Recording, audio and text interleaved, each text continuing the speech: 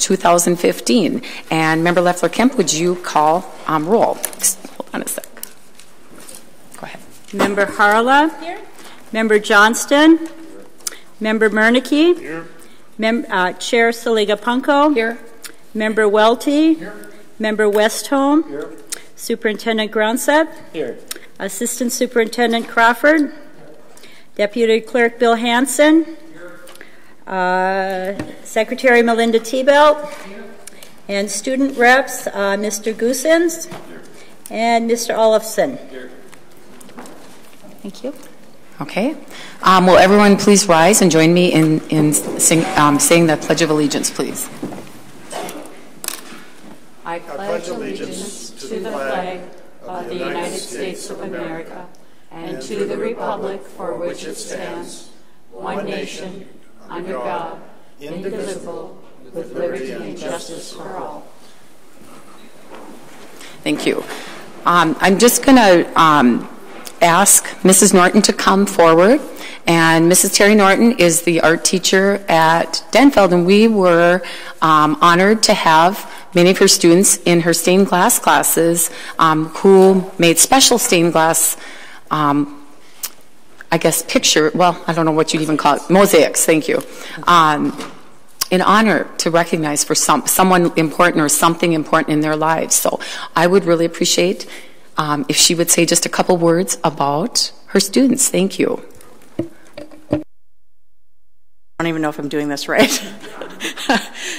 Hi, everybody. My name is Terry Norton. I'm the teacher um, at Denfeld. I teach um, art and I teach stained glass metals and fibers is just one of the classes that I teach. But the students that were here tonight um, were advanced students that um, as part of the curriculum, we asked them to do something in service learning, and we um, asked them to pick something that is personally important to them, and it's our way of kind of um, having them get civically involved and do it through art. And it's just one avenue that kids can um, be a, an active participant in our community and start their lifelong journey on being um, positive um, role models within their community. So I'm honored to represent Denfeld, and all of the students that were here had a great experience. And thank you guys very much for hosting them. They they loved being here. So thank you very much. Thank you so much, Mrs. Norton. We really appreciate it. I know last month we had we were honored with the Denfeld Jazz Band, and this month we're honored with the Denfeld Art Class. So we have to remember it's all about our students, and we appreciate that. Great teachers like you. Thank you.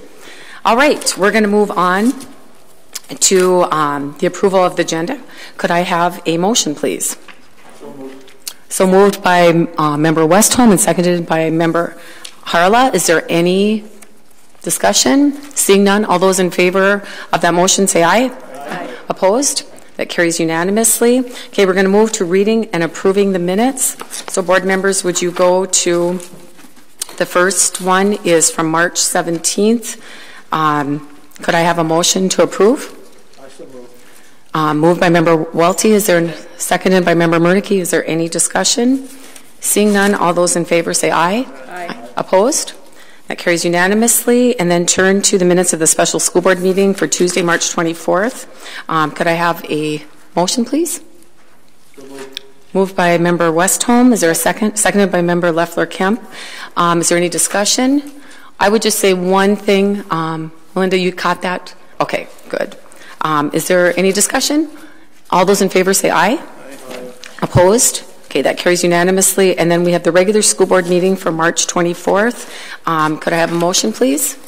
So moved. Moved by Member Harala. Is there any second? second? Okay, seconded by Member Miernicki. Any discussion? Member Johnston? yes, uh, a couple of corrections and a couple of clarifications.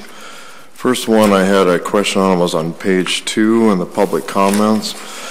Uh, Member Loeffler Kemp read district mission statement. I was just wondering uh, what that mission statement was that she read. She'll be reading it again tonight. We've read it the last few months now, just that we remember that we're about educating our students. Okay, anything else? Uh, yes, I'd ask her to say where she got that mission statement from. Sure, it's right out of our annual report. Um, and uh, it's really a summary. And just like we started this year to, or the start of the year, to have our student reps sharing more about what's going on in the schools, um, the idea of uh, doing a short kind of mission statement came from um, uh, hearing that other school districts do it. And so I, I brought that forward that we did it, and uh, as clerk, that's why I'm reading a quick summary. Well, I wasn't complaining about it, I was just asking where it came from. It's different from what's in our bylaws and our policies, so I was just curious where that came from. Thank you for explaining that. Uh, also had a, a, request if I could be given on page uh, four, if I could be given a final copy of the special resolution, which was our our our, uh, our bonding for 44 million. There was a, in our thing, there's a lot of blanks, and I wonder if I could give him a copy of the final sheet that have the blanks filled in. Just a request there to the superintendent. Is that in our folder? Uh, also have a correction on page 25, down at the bottom. It was, it was on a vote to table a resolution about the civil uh, service board, and it says that I voted nay for that. I voted yay for that resolution to table. Want that corrected? Yeah, you might have to check that just to make sure on the tape.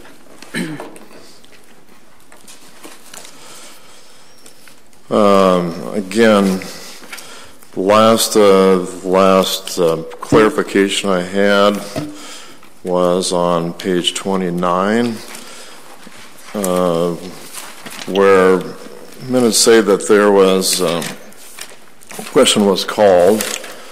I objected to that. It does not say that I appealed that, which I did. Just reminding people that. Uh, yeah. Pardon? Corrected.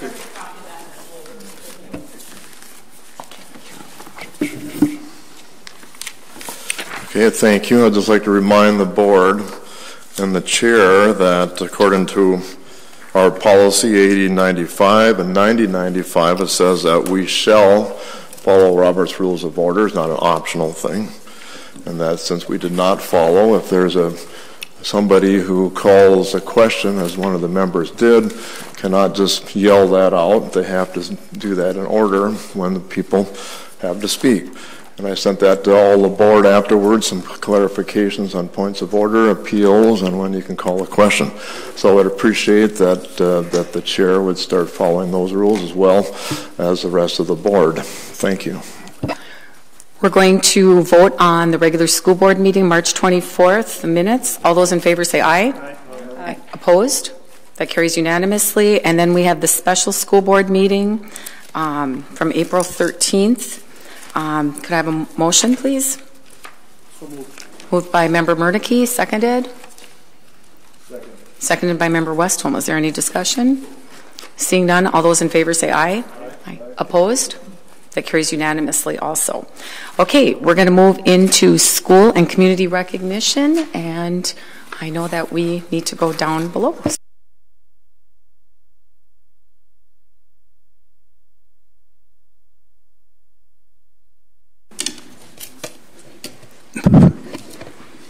Members of the board, this month I'm pleased to present Lester Park Elementary School for recognition. Pat Fingston and Nancy Dallum and Alex are with us tonight representing Lester Park. We know hunger is a problem in the Northland. For eight years, Lester Park Elementary School has made it their mission to help make a difference in the lives of those experiencing hunger. Pat spearheads the school's food, food, food drive and has done so several, for several years. Nancy works closely with Pat to organize and support the drive. Pat initially set a goal eight years ago of collecting one ton of food, and the Lester Park community has achieved or exceeded this goal since then. That includes this year Students and staff from Lester Park Elementary School recently collected over a ton of food for donation to the United the Union Gospel Mission in Duluth. There was so much food that mission staff had to make two trips to transport it all. In addition to collecting 2,961 pounds of food, excuse me, they also raised $471 in funds. Congratulations, Pat, Nancy, Alex, and the other students and staff at Lester Park.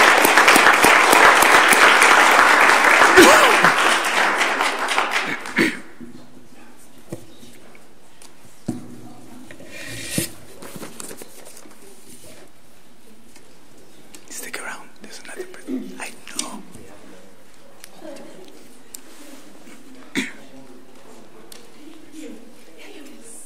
I'll shake again.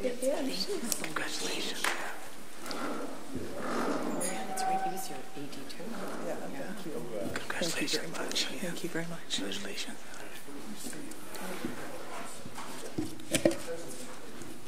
I'm also pleased to uh, present Pheasants Forever of St. Louis in Carlton County for recognition. A well, warm welcome to Phil Storstein, Matthew Brenner, Bremer, and David Lude, who are joining us this evening. Pheasants Forever recently partnered with, the Duluth, with Duluth East High School's Green Club and Agriculture Natural Resources students to create pollinator habitat between the lake walk and the school parking lot. This location is designed to favor the attraction, survival, and reproduction of pollinators, as well as providing a way station along the monarch butterfly's migration path. This uh, pollinator project establishes a long-term ecologically sound landscape that is adapted to the specific site and adds distinctive aesthetics which will be enjoyed by those using the lake walk. It also provides a valuable learning environment for students of Duluth East High School. Many thanks to Pheasant Forever for their partnership and support. And I understand that uh, uh, the representative from Pheasant Forever have a presentation they would like to make.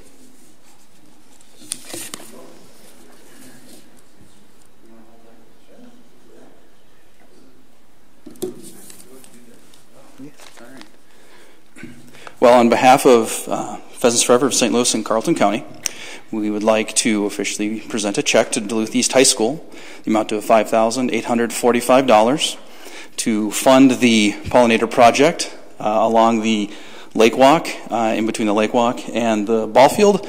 And this also includes a three-year maintenance plan uh, to ensure the long-term success of the pollinator project. So, thank you.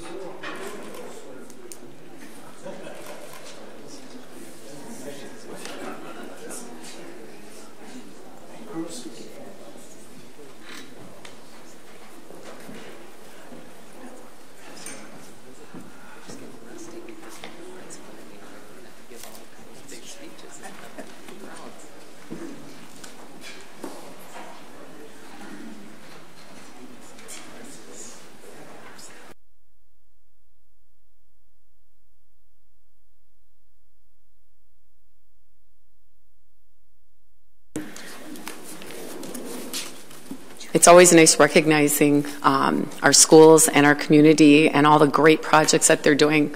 And all that is what we're about is what our students are doing and our staff, and it's it's really neat to see, you know, what the kids are doing with their teachers.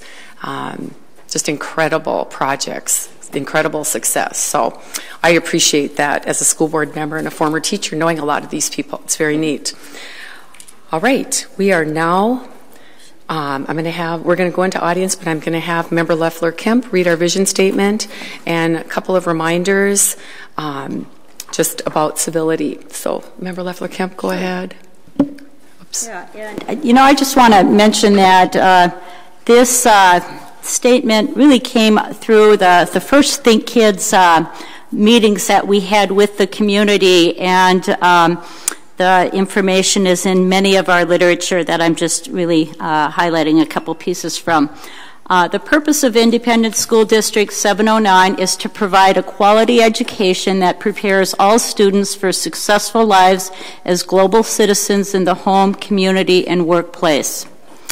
We will build on our shared beliefs and values of unity, high achievement, and responsible use of resources to create Duluth Public Schools and classrooms that are safe, supportive, and inclusive.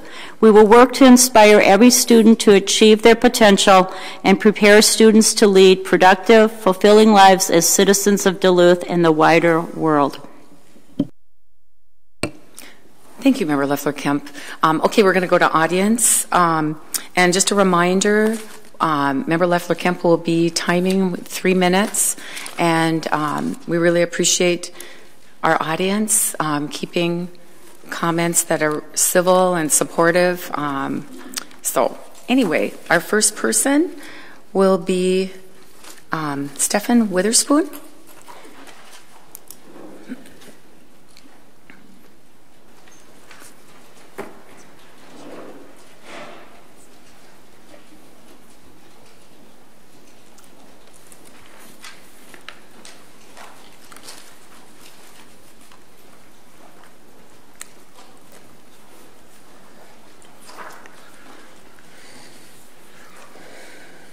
Thank you. Greetings. Uh, my name is Stefan Witherspoon. I'm with my mother, Sharon Witherspoon, and Carl Crawford. I am the uh, second vice president of the NAACP. I'm a native of Duluth. My father was here back in 65, 1965, settled here, had a couple of churches, a restaurant, and um, we are proud to be Duluthians. We, the members of the NAACP, hereby resolve to undo any contribution of the policies and practices of ISD 709 that contribute to racism in our schools. The following resolutions have been adopted by the Duluth branch NAACP concerning undoing racism in the Duluth public schools. The NAACP strongly urges that the school board and administration of ISD 709 implement a K-12 curriculum designed to undo the influence of racism in the K-12 public school system. This should include the use of the Clayton Jackson McGhie Memorial Inc. Uh, curriculum that the school district has long ago already approved for use in the high school syllabus. We envision an update and expansion of this curriculum as an aspect of this resolution. The NAACP also urges, if not demands, that ISD 709 implement an ongoing professional development policy and resulting program supporting an experiential, an, exp, an, an experiential and collaborative approach to the instruction of all students, specifically those of color, toward undoing racism in the Duluth public schools. The NAACP is committed to working with the school board and administration in the continuous improvement in the quality of instruction, including the appointment of the community partners to collaborate, uh, to collaborate with professional staff to develop instructional strategies toward undoing racism. We view this effort as ongoing, uh, requiring continuous and regular public reporting to the community at large and request that the above resolution be placed on the May 12, 2015 School Board's Education Committee. Thank you in advance for your consideration and dedication toward improving the educational and societal experiences of all of our children. Do We have any minutes left? I didn't sign up, but I like to say that I was looking back through my notes, and uh, 2008, I think for the last, for two years, eight and 12, I uh, eight and nine, I attended school board meetings on a regular basis for those two years. And as I reviewed my notes, we stand before you with the same request. So I urge you as and strongly encourage you, each one of you, as school board members, to strongly um, consider this resolution and place it on the May 12th uh, agenda of the Education Committee and uh, invite us to come in dialogue with you and move forward and bring this forth for implementation. Thank you and have a blessed evening. You have something to say, Carl? Good evening. I want to apologize for my tardiness. There's been to, to about three or four meetings today. Unfortunately, I don't get paid, but uh, I believe in service to this community. Been doing it for many years. Has spoken to you before. Um, have had some success for some of the issues we brought to you. Uh, however, in recent years, seem like our recommendations has fallen on deaf ears. We urge you as a school board member, members, and well as the administration to take the recommendation. You have official bodies that uh, you have uh, collocated to uh, advise you on issues it relate to the various ethnic group. Uh, we've, uh, you know, maybe been a little negligent and slow to coming to you, but it appears to me that there's been an effort to silence the communities of color by ignoring their recommendation and never letting those recommendations come before you as a body. We believe you have a responsibility. There has to be a way that we as a community can get issues to you and not have to be filtered by anyone else. That you take an aggressive action to address the issues of racism, the issues of discrimination, the issue of uh, closing the achievement gap, you have a responsibility as a board. You can mandate that the administration take care of that action and that you're responsible for ensuring that they carry that out. Year after year, we continue to see uh, very poor, slow progress in the effort of educational equity within this school district. Uh, we encourage you to, again, support the resolution going forward. We have more coming. We would like to have an open dialogue with the school board as well as administration. And I'd like to thank you for this opportunity to speak to you today. And uh, I've talked to some of you individuals. You made commitments to me. I have not seen you fulfill those. I encourage you to take an active effort to promote educational equity racial equality and policies that equitably address the issue of racism in this district and not just punish the victim. Thank you.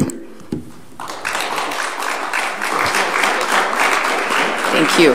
Um, Loren Martell? Is there time up? Oh, did you? Briefly. Well, go ahead, Carl. Um, I just briefly want to stress the point of equity. That was mentioned in the statement that you mentioned before we came up. And equity is something that's really important. Equity means not everyone gets a book, but everyone gets a book to understand and is taught how to use that book. That's our goal, and that's not happening. So, as the previous speaker spoke from the NAACP, I join them in urging to take this matter seriously and let's get ahead of this racism and not be reactive but proactive. Thank you.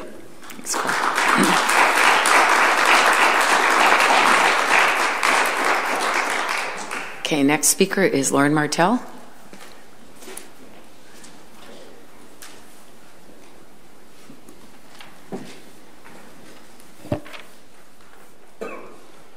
Good evening. Again, I'd like to address the changes proposed to Policy 3215.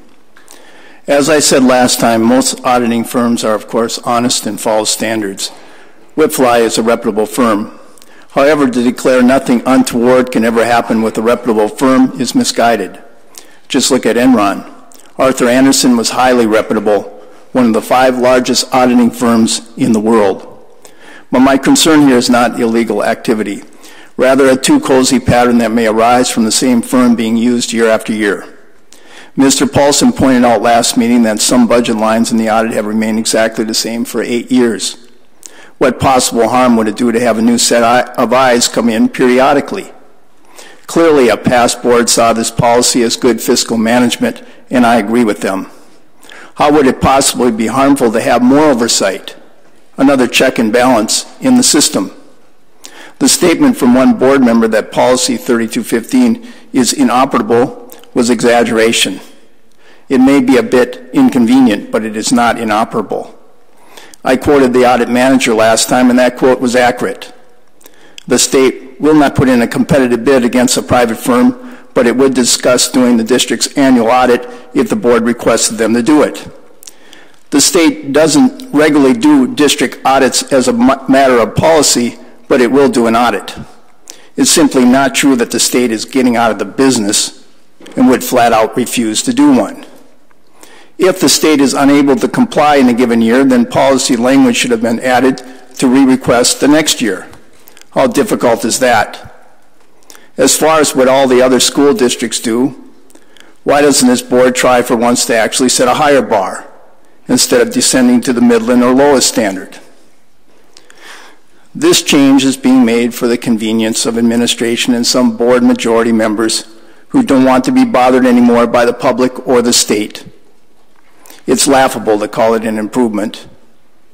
This change should raise red flags about administration reviewing all the board's policies. With the people we have controlling the board at this moment, I can guarantee the public some changes are about to be made that will not be in the interest of good government and democracy. Thank you. Um, next speaker is Tim Davis.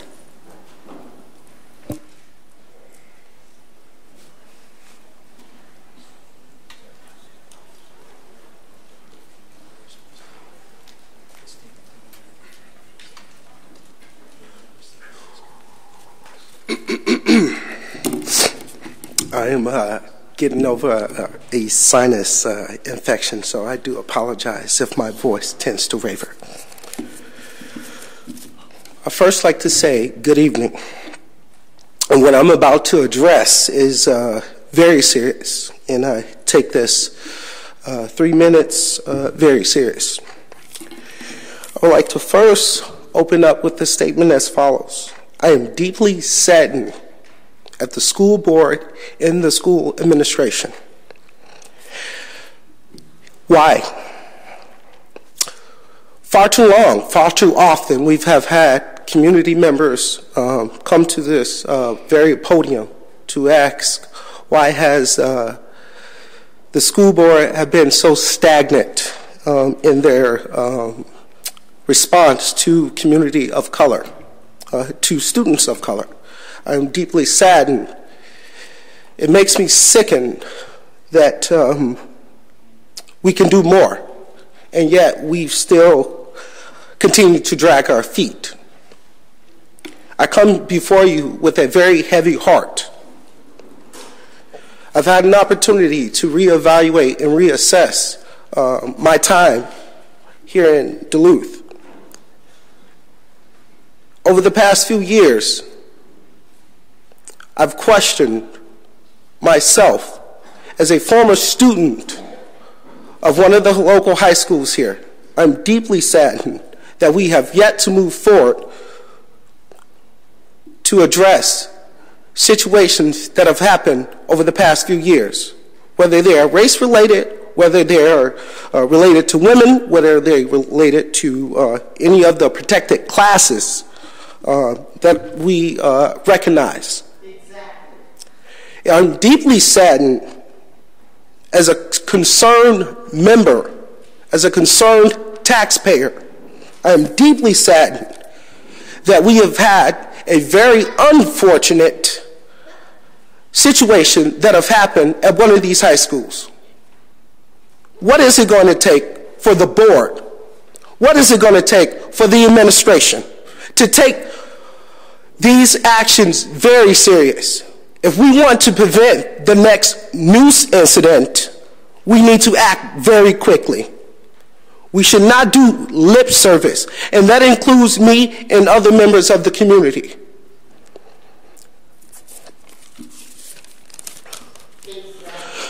We need more than just the EAC committee to report to the school board.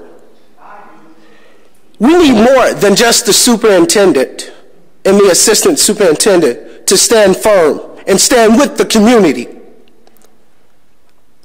I am saying all of this from a very near and dear place. Understand, I'm not calling anyone out. It's a culmination of a very uh, specific uh, things that have happened. I ask with deep concern and deep respect for myself, for my family that goes to a local school in town. I ask that you strongly ask that you strongly consider this because this is really important. Enough is enough. We need to do more, and we can do more. I ask each and every last one of you and my students to my right, I ask that you can do more too. Address this because there will be another noose situation that will happen. We will have another suicide that will have happened on our watch as adults. Thank you. Thank you, Mr. Davis. Are there any others over there? Okay. All right, we're going to move on to our reading communications and petitions. Superintendent? Go ahead. And I have no official communications to share. Um, I wanted to start off tonight thanking uh, Mrs. Norton's art classes. It was great to see their uh, their projects and to have so many community members here to accept their um, their work. And first, I'd like to to share a, a, big thank you to everyone who's joined us for Think Kids uh, so far this month. We have had um, 14 meetings, and I appreciate the staff and the families and community members that have taken time to share their thoughts. Um, and uh, all of the people that have also shared through the online survey that's on our website. It's great to hear people from all over the community about things that are going well and about things, um, well, that aren't going so well and that can be improved. Uh, this year during Think Kids, we are presenting information about the demographic study, uh, but we're also talking about racism and harassment in our schools and in our community. And I have to tell you that we've had some some great conversations, and I look forward to sharing the compiled information with the school board and with Duluth citizens um, when we finish. There are two more uh, meetings to go. One is tomorrow night at Denfeld, and the last is on Thursday night at East High School.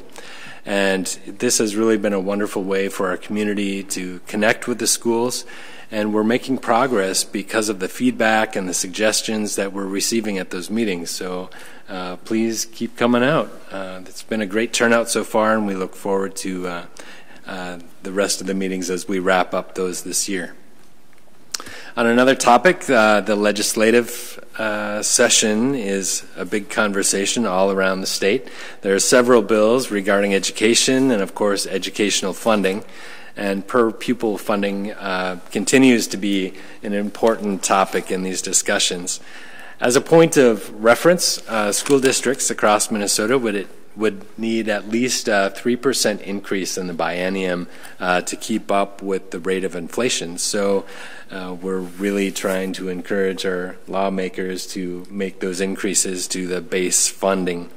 There are also bills regarding several um, other topics like universal programming for four year olds uh, that may have more financial implications for the district. We're very supportive of this programming, uh, but if they come to us without funding, we may have to make cuts in other areas and able to implement those mandates. So we want to continue to be a part of those conversations. Now, on to the topic of Nerf wars. I didn't. I got a little reaction over there. First, I want to be clear. Nerf Wars is not a school activity. It takes place out in the community. It is prohibited in the schools, on school property, and during school events. In fact, the Duluth Police Department recently held a press conference uh, to talk about the concerning behaviors associated with this game, including dangerous driving. I encourage Duluth residents who observe any unsafe activity to report it to the Duluth Police or to their community liaison officer. And I urge our young people, please, please be smart and be safe while you're playing Nerf Wars. None of us want to be the fun police. Uh, however, we all want you to stay out of harm's way uh, while you're out there having fun. With that, it is time for our monthly student reports, and I think we started with Tommy last month. So why don't we start with Jude this month?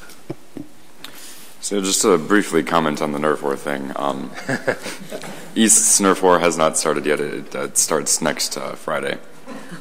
Of but, course, it wouldn't be an East yeah, Nerf War. It would be the Eastern Duluth yeah. area. And um, I, am I am actually one of the people um, that's kind of helping lead that. Um, it's it's changed from last year. Um, me and a couple other students uh, kind of took that leadership role um, kind of away from the people that had it last year, with the intent of making it a safer, more appropriate kind of game, because there were there were a lot of not so great things that were happening last year. So uh, we did kind of um, few, there were a few of us that really wanted to take because we figured it was going to happen uh, no matter what. It was just a matter of who's leading it and who is making that effort to actually make it safe and responsible for everyone. So we are definitely um, aiming to ensure that people are more smart and safe with it this year. Um, so on to uh, things that have been happening at East this month. Um, at the very end of March, we had our March Madness food drive, and that ended up uh, raising $1,733 as well as collecting a total of 1,506 food items. And since that was donated uh, in late March, that's actually going to be uh, doubled to over 3,000 over $3,000 and over 3,000 uh, food items as well. Um, another thing that happened, as I'm sure um, many of you know, as um, some of you actually went on the trip too, uh, the a cappella choir uh, went to San Antonio and ended up winning several uh, awards down there and the we had two knowledgeable teams that went to compete at the state competition. Uh, we had a number of people from the uh, Duluth speech team from both East and Denfeld compete at the state competition. Um, one actually uh, won fourth in the entire state, um, so that was that was really cool to see that. We also, um, even just today, actually, we had an assembly to recognize these different things, uh, including several people from the BPA and FFA winning uh, awards at their uh, their respective competitions. And other things, uh, Student Forum has been meeting at East and talking about uh, different things with the What I Need period and kind of what students want to see, uh, what, what, they want to happen with that next year. And I know that is definitely a, a topic of conversation among um, administration and teachers and uh, everyone, but um, Student Forum definitely, a, a lot of students feel that students should have a voice in that whole conversation and that we, I think, have some pretty good ideas of what we can kind of explore to utilize and implement in the future. Um, different things uh, to comment on uh, previous speakers um, about the NAACP and the just racial issues in this district. Um, only a week or so ago, the Duluth branch of the NAACP did hold a youth summit on racism, and uh, we saw. I, I, attended that, and um, I see a number of, of East students here um, attended that as well. And we kind of had representation from a number of different uh, groups at East, including Students of the Future, Exec, Board, and Association.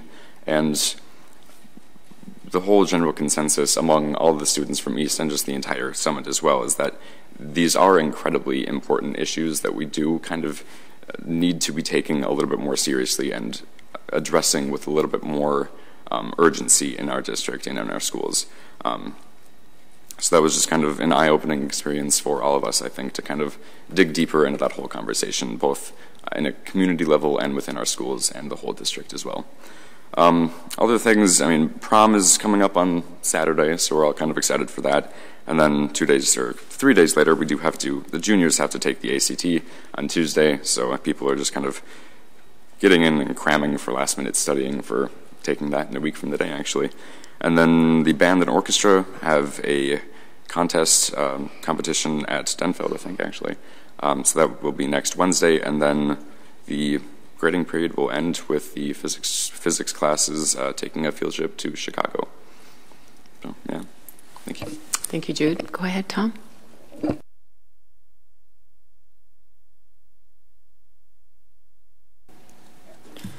Okay, so some news from the western half of the district. Our version of the a cappella choir went to New York City via bus, which was a very long 24 hours on a bus. We had the same bus drivers. Oh, okay. Yeah, they left. Yeah, they had a day off and they went to San Antonio. So that was that was fun for us. Our theme concert for all choir Denfeld uh, orchestra students and band students will be taking place this Saturday at seven, and all are invited to attend. As Jude said, the ACT will be taking place next Tuesday, a week from today. Students who are not participating in the ACT, which would be all freshmen, sophomores, and seniors, are invited to participate in ACT Action Day, which is where different school groups go out and volunteer in the community. For example, our robotics team will be uh, volunteering at the Duluth Children's Museum. This Friday, there's a Trig Star competition, which is a competition put on by the uh, Land Surveyors Organization of Minnesota, and this is taking place at Lake Superior College. We participate against all the uh, competitions that are going on around the state on that day.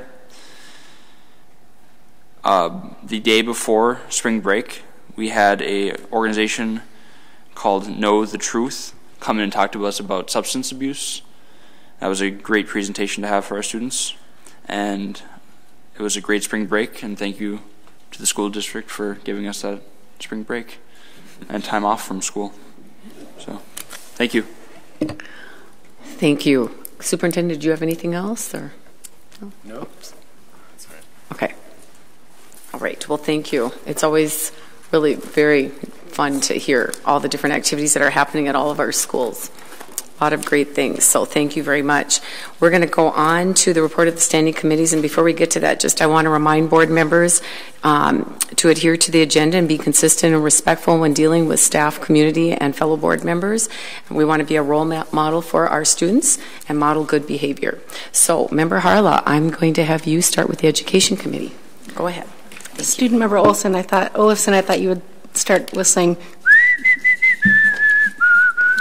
because the lip dub was really great that Denfeld did. So thank you for continuing and thank you for your updates. But um, that has been stuck in my head. So you're welcome to anyone else that I handed it to. Um, thank you for the lip dub. It's really neat to see the different ways that our schools come together to tell their stories as the school. And so appreciate that it's all different students. Um, and I was thinking about, we talk a lot about how students come, all these awards that we do, and it's really great.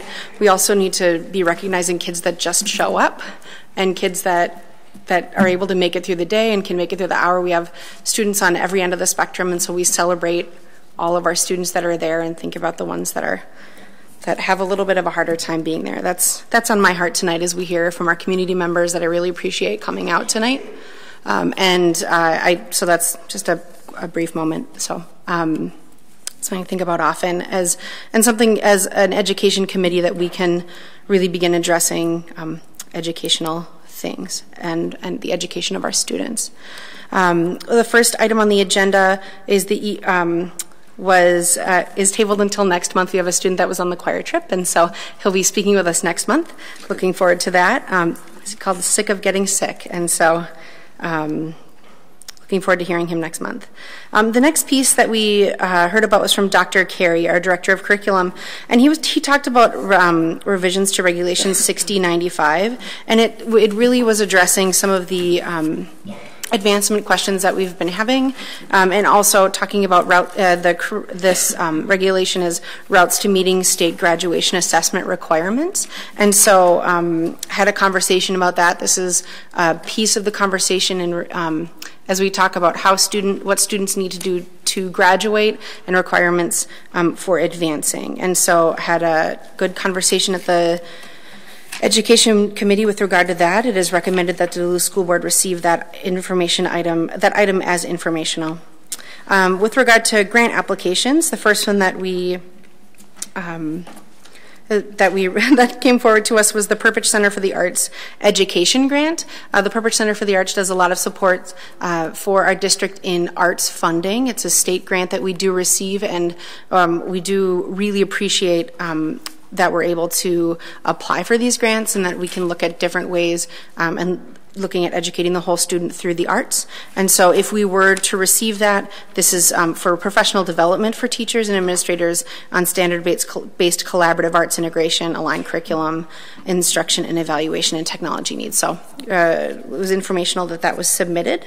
The next um, piece was the, an externally sponsored trip request. Annette Strom, the science teacher at Ordean East Middle School, um, brought some students to Costa Rica. This was not sponsored by the Duluth schools, but um, it was an uh, informational item, um, and it was so it was acknowledged that it wasn't with the schools, but that students did travel to Costa Rica to do some studying and experiential learning. The next item that we had were action items. Uh, were our sets of action items. First, we had our 2015-2016 federal Head Start grant application. Pam Reese, our Head Start director, came to speak with our um, with the board and, and, highlighted a few things. First of all, um, that we are in a new grant period for Head Start, and just for folks that didn't know, in Minnesota, uh, our district is unique. Usually, Head Start is something that is separate from a school district, and we actually house Head Start within our school district. This is something it's a really great evidence-based opportunity that we have to have students uh, come pre-kindergarten to get to know the school, get to know um, the school system, and then be supported um, from pre-K um, into stepping into kindergarten. Um, our staff are highly trained, highly supported, and um, do a lot for do a lot in supporting our our littlest ones that are able to come through the school a few highlights that she that she made, um, and this is important. She highlighted that because this is within the district, we're able to pay a living wage to the teachers that are there and uh, that are teaching the students. And when uh, when Pam goes around across, when she goes across the state to learn about uh, and had to connect another Head Start programs, they have staff that are coming in and out. They train early childhood staff and then they go to someplace else that pays better. And I am proud to know that and proud to stand with a district that's paying people a living wage and feel that it's, you know, it's important for all organizations in our community to be doing that. And so glad that our employees are stable, are, uh, can stay with us because we, we pay them um, a quality wage and they are able to stay with us. And I've heard from many folks to say, if I could work in early childhood in Duluth, it would be in Head Start. So um, thank you for them for that. So the next piece that we have um, is just they're looking at um, some some things that are affecting our Head Start and our community are some of our community housing instability, especially in the cold months of the winter. They saw a number of families that had that moved out of the community, and because heat is really expensive here. And so there, there was a blip in numbers where they kind of fell under. And so they're, they're working on an action plan and working to, um, working alongside families to understand um, how, how to support families that are struggling. And you know, here this it's another another way that the district is able to partner with families. And Pam um, gave a full report on that. And then they also highlighted the Head Start dinner that is coming up. That is an 80s theme. And so glad to know that that's something that um, the families within Head Start can celebrate and join together. Um, with big hair and lots of 80s wear. So just it's a, a, really great celebration. I had an opportunity to go to it last year um, with some other members of the board, and I really appreciate um, the Head Start, all, all, just all the work that's going on in Head Start, um, and knowing that investing in early childhood is one of um, our investments in in the, in lessening the achievement gap. So it is recommended that the Duluth School Board accepts and approve the federal Head Start grant proposal for fiscal year 15-16 for submission. The next piece, um, oh, okay, we'll do the resol. We'll, Chair. So I move that resolution. Um, sorry, jump to that. Thank you. I had it here. Just thank you. Page 15. So waiving so we will jump to page 15, a request for suspension of the policy 6160, field trips and, re, uh, and resolution E11-10-10-28 26, waiving liability of foreign travel within the, ex- within the exception of Canada. So um, a number of our students and staff are looking to travel to Dalian, China. Uh, about a year ago, uh, and Assistant Superintendent Crawford uh, reported this to the board. About a year ago, there was a contingent of uh, students and teachers that came from Dalian, China, and experienced um, life in the Duluth Public Schools. Um, they stayed with families, they experienced our community, they experienced an everyday life, and when they left, they said they they wanted us to come and visit them, and gave the district a seven thousand dollar grant, seven thousand dollar U.S. grant to.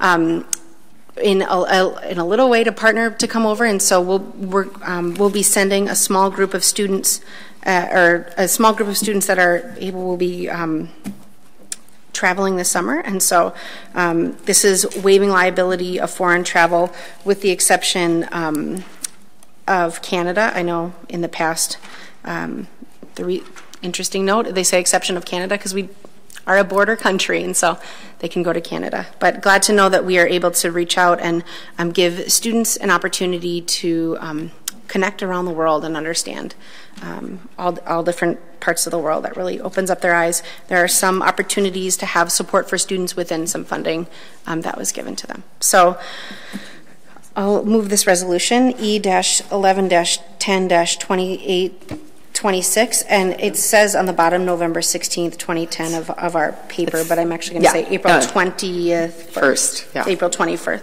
Second.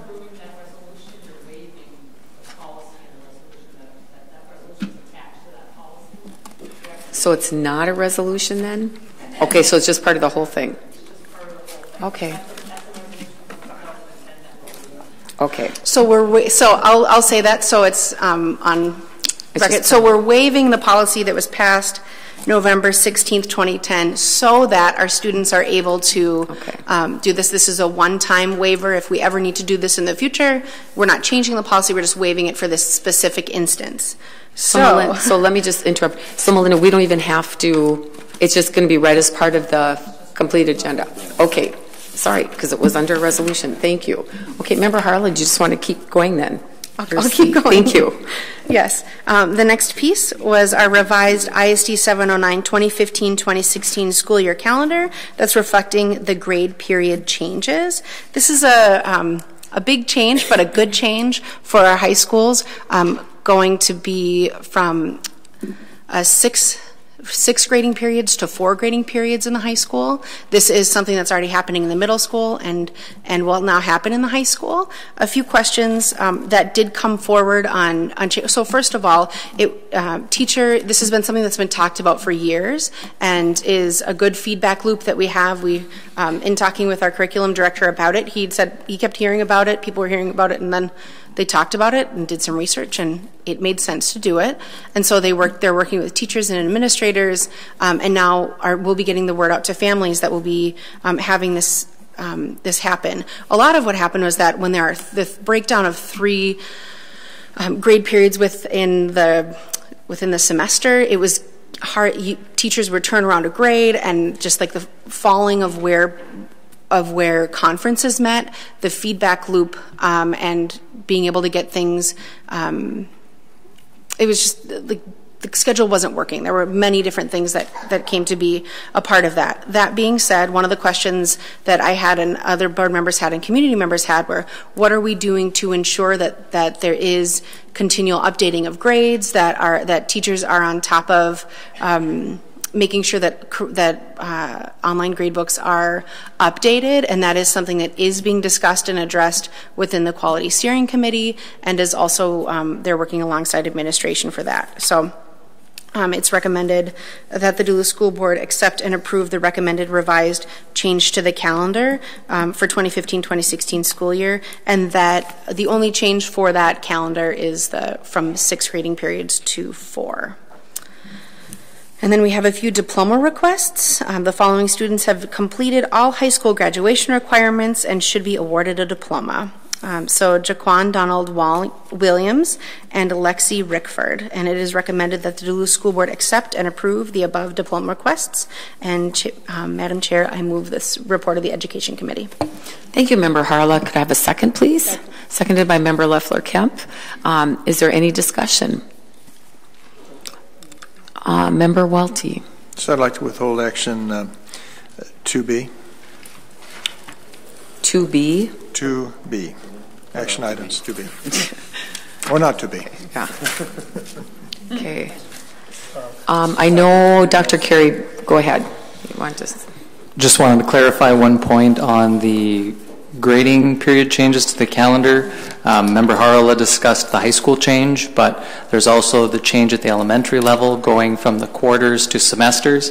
And the intent of that was to ensure that our grading periods align with our major benchmark assessments so that that information is current when teachers meet with parents so that they can communicate the most current information to parents about their children's progress. So just wanted to make sure we didn't omit that port, that portion from the report. Thank you. Um, member, Member Westholm? Yeah, could I withhold 2C, which we're just been discussing? Yes. Okay, that's it? Member Johnston? I'd just like to withhold the general information, number one. Which, which one?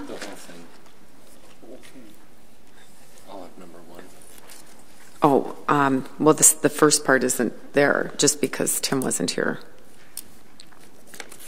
Um, and let's see, Member Loeffler Kemp? Uh, 2A.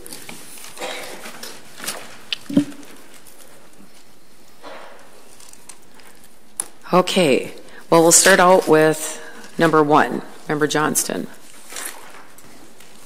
Thank you, Madam Chair. I Just want to emphasize again what we heard from the NAACP. I think this is an issue that we have to address as a school board. The school board has not addressed this issue, and much of the other community has. Uh, I think that it is it's overdue for us to do that, so I would ask that this be put on next month's agenda so we can have a discussion on that, which I think is quite heartfelt by the community. So I hope uh, I'm asking the chair and the superintendent to put that on next month. Thank you. I want to thank the community for bringing that up as well. It's a very important issue, very heartfelt. Thank you from hearing from you. Um, let's see, Member Loeffler Kemp. Go ahead. Okay. Number Um, two. So 2A, uh, which is on the federal Head Start grant, and this is just really informational. Um, I serve as a, a school board rep on the Head Start Policy Council, and I know we have some members of the Policy Council here, and I just want to say um, that part of the, the grant application and the leadership of the school board meeting with the federal grant person from Chicago um, uh, it was myself, uh, Judy Seliga Punyko, and uh, Annie Harala. Um, we really uh, highlighted about the important role that the Policy Council plays. Um, the, and the Policy Council is made up of parents uh, as well as staff, plays um, with the, the Head Start program here in Duluth. And so I just wanted to kind of mention that and, and also mention um, uh, a thank you to the letter to the editor that was in the paper this week, um, highlighting Head Start uh, in our community. And um, uh, yeah, just wanted to mention those two things. Okay, Member Welty 2B. Thank you. Um, I, I don't know that I recognize this resolution. Uh, I'm sure it was uh, something that I must have skipped over, but it, it does confuse me. So, um, uh, Melinda, I'll, I'll ask you a question about it. But I did have a another question because we did talk about the uh, uh, about the the general issue, which I think I understand, and I, I asked our uh, our, uh, our our CFO, Mr. Hanson, if um, we were going to be uh, um, at any liability when the students and uh, and and other people go off to Dalian, China, and he he explained that what we would do is is purchase a rider. Uh, that would probably be covered during our discussion uh, by the uh, the the revenues that the people who are going on this trip uh, we're providing a rider that would cover the liability for the district. And I just wonder if that has taken place, if we have purchased a rider at this point.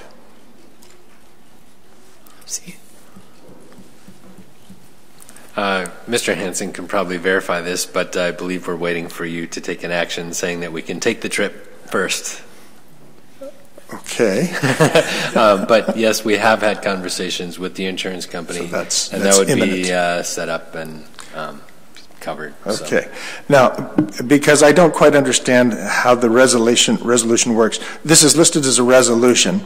Uh, Is the intention that this be a resolution that we pass tonight? Or this is not a resolution that we pass tonight? Hold on. This it, this is the original resolution that's um, that says that we cannot take foreign travel. So you're actually waiving this resolution. Where, where does it say that we are waiving, it- that, when it says waiving liability on foreign travel with the exception of Canada, but, but is there a, a- a resolution to waive that liability? Because if we don't vote on this, I don't see a resolution waiving liability, just that we've had a discussion. Administration is requesting to suspend.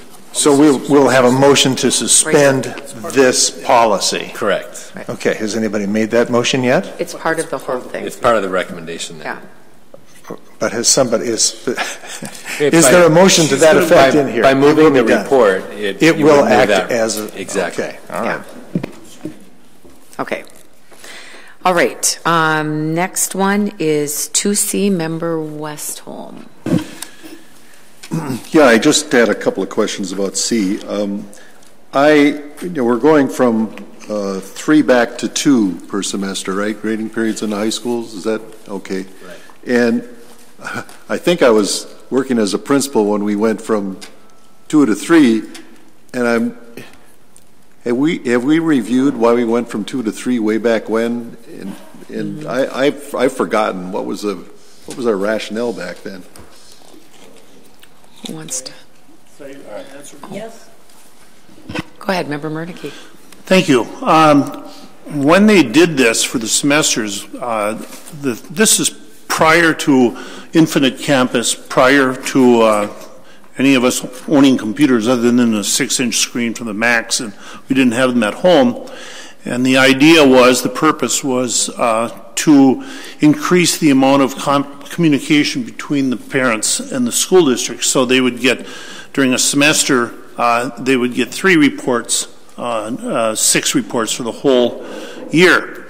Now with Infinite, Infinite Campus, and again, I understand there's some problems with some people not having uh, home computers, but with Infinite Campus and, and other systems that we now have, um, it's going to be a lot easier for the teachers. It's going to be a lot easier for the students. We were, we were testing so much more under the shortened period. And uh, it would literally take some day, instructional days out because we had to get tests in so we could get the grades in. And uh, I just think this is a wise move uh, to, to go back to a, a, a longer reporting uh, period. Yes. Oh, go ahead, member Westholm. And that does refresh my memory on this whole discussion because I was part of it.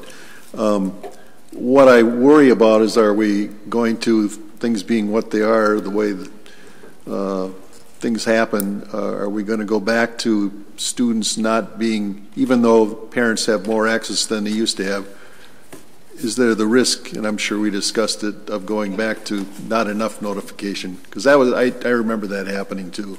Uh, sometimes people just weren't letting parents know until almost the end of a of a quarter that their kids weren't doing very well, and they got upset with that. So.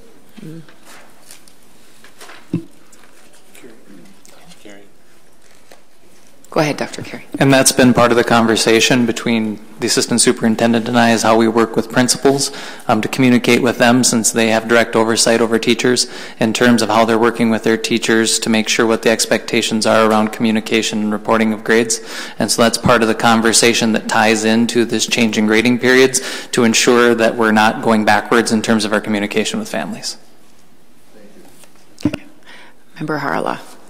I was actually going to ask um, member, student member Goosens. He had some good points at the meeting, so I see your light is on. So, Go ahead, Student Representative Goossens. I just wanted to say that, um, like, pretty much any student that I've talked to is definitely pleased that we're moving to four grading periods per year instead of six, because everyone was kind of confused about why it was six in the first place, since it seemed that everyone was basically around the state and even country was pretty much at, at four. That was kind of the standard.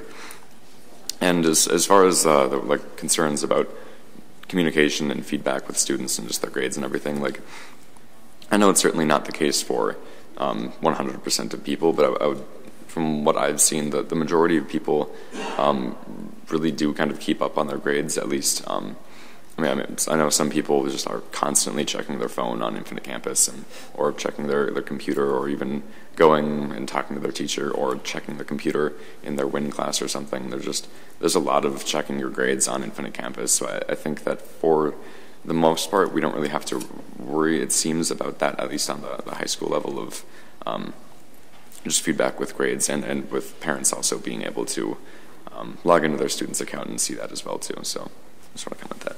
Thank you. And I do have to say that I heard the last couple of years from a lot of people, especially if you have a student that fails or doesn't do well on a test, it pretty much affects their grade for the whole six weeks. So this way they have a little bit more of a chance to catch up if they, you know, maybe they were sick or something. So I think it really is good. Okay. Oh, member Westholm, go ahead. I just wanted to thank uh, getting our students' perspective because that's mm-hmm. always important to this kind of discussion because you're the ones on the other end of this thing. So thank you. Thank you. Okay, we're ready to vote on the entire Education Committee. All those in favor say aye. Aye. aye. Opposed? Okay, that carries unanimously. Now we're going to move on to um, the HR Committee report, and that would be Member Miernicki. Um, hold on. Go ahead. Thank you, Madam Chair. Uh, the HR Committee met on Tuesday, April 21st. Staffing report items certified long-term sub 1, certified retirement 15, non-certified leave 7, non-certified permanent increase 1, non-certified resignation 7, and non-certified retirements 4, a rather short list. Other action items uh, be approving the contract for public relations coordinator Kathleen Kaufman. B, approval of individual contract for assistant superintendent for Amy Starzecki. And C, we tabled at the March meeting, and it's still on the table unless it's the, the uh, desire of the school board, it remains on the table. There are no other informational items, no, and there's no, nothing for the future. I move the Human Resources Committee report. Thank you, Member Miernicki. Is there a second? Second.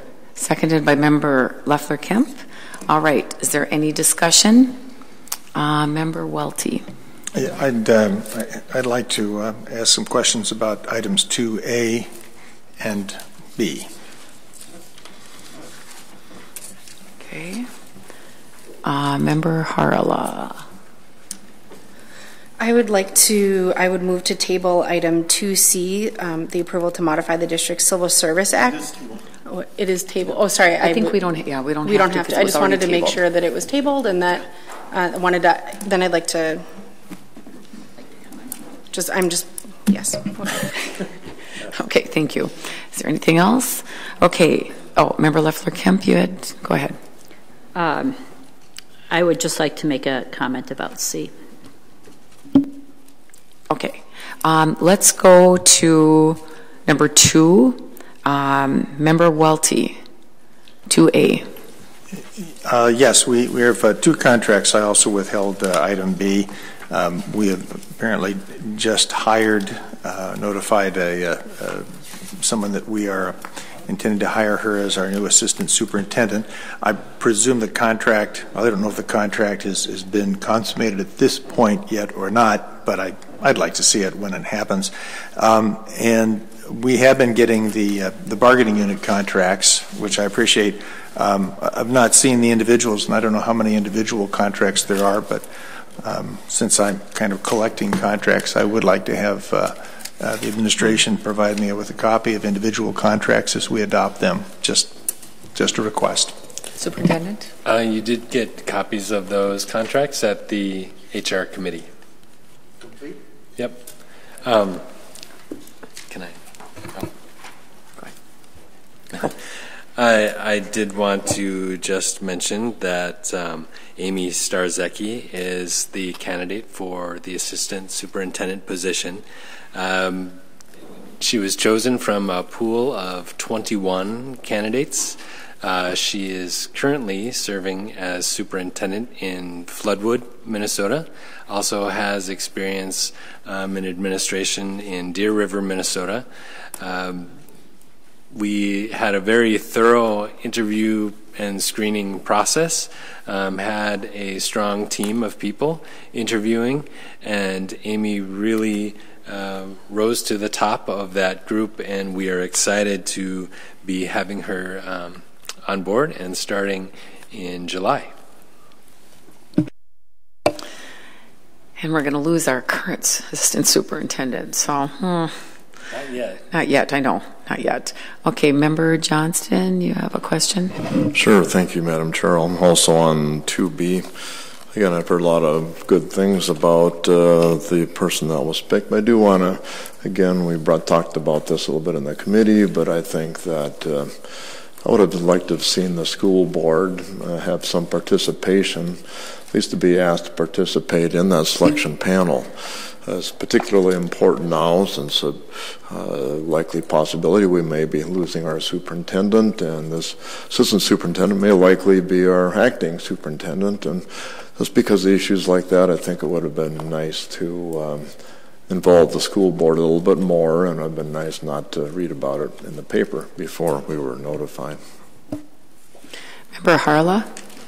Um, are we on 2A and 2B? I'm just just, okay. I so guess we are. I just wanted to make sure to highlight, so uh, the approval of the individual contract for our public relations coordinator, and just wanted to thank um, Katie Kaufman for all of her work and a lot of the Think Kids meetings that we've been at. I've heard a lot of great things about, at almost, all of them I've heard. I really appreciate the number of ways that I'm communicated with from the district, whether it's um, an all district email or a community wide email, the number of emails. So we just really appreciate all the work that she is, all the work that she does and that she does on behalf of our district. Really appreciate that. And also want to urge that part of the discussion too was the hope to get some either interns or additional support so we can have more um, uh, of a team for telling the story of our district. Superintendent. Uh, I know we're kind of bouncing around on topics here. Um, I, I'll respond to yours. Uh, I too have heard a lot about communication and how people have appreciated that communication, and uh, I thank uh, Katie Kaufman for her efforts in in organizing all of that, and uh, that we appreciate her, and also that um, I appreciate that board members have been out at Think Kids meetings too. I think I've seen just about everyone, um, and some more than others, and uh, I appreciate you being out there. Uh, going to the communication and the hiring process for the assistant superintendent, um, really the, the school board is very active in hiring the superintendent, uh, but has not been a part of the hiring process for others. I do want to point out, though, that we did share uh, that um, Amy Starzecki was the candidate before it went public. Uh, as usual with the board, I try to notify you and then district staff and then the public after that um, in layers of communications. So um, I just wanted to note that I, I did send that out before the public knew. Thank you. Okay, we're going to vote on the entire HR committee report. And all those in favor say aye. Aye. aye. Opposed? Okay, that carries unanimously, um, and we can move on to the Business Committee report, and that is Member Westholm. Okay, uh, the Business Committee report uh, has following components to it this month, and we look at number one, financial report. Um, 1A is, is the financial report, B is approval of payment of claims, C budget revisions, D wire transfers, E investment transactions, F, Wadham projections, and G, fundraisers. Uh, number two is bids, RFPs, and quotes reports, and there was one bid, and that was for historical Central High School retaining wall improvements, and that was a bid for $375,000 from Hovland Inc. Uh, RFPs. Uh, quotes, we had uh, six quotes, I think. The first one is quote 4198, district-wide annual inspection service to boilers, and that was for $18,360. And the recommendation is we approve entering into that contract with Jamar Company. Uh, quote two, district-wide cement masons labor for $17,710. And it's recommended that we approve entering into a contract with Hovland Inc. for that contract. Uh, three is a quote uh, for $16,898, and that's for district-wide annual inspection and testing of fire alarm, fire alarm systems, and that's with Northland Fire and Safety. And it's recommended that we enter into a contract with uh, that company. And quote number four, district-wide glass replacement services, and that's for $21,600 with Superior Glass, and it's recommended that we approve entering into a contract with Superior Glass. Uh, number five is, is a quote for district-wide annual testing and maintenance of sprinkler systems. That's pretty important, obviously, and that's for $5,005, and that's with Brothers Fire Protection, and it's recommended that we enter into a contract with that company.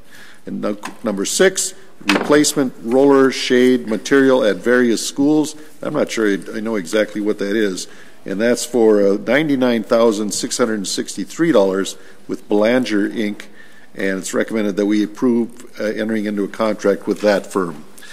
And then placeholder historic old Central High School access control system, and I don't know if we have information on that or not. If we're just it's in our, it's in our okay, it's in our green folder. Okay, and then we go to number three and policies and regulations, and we do have three here.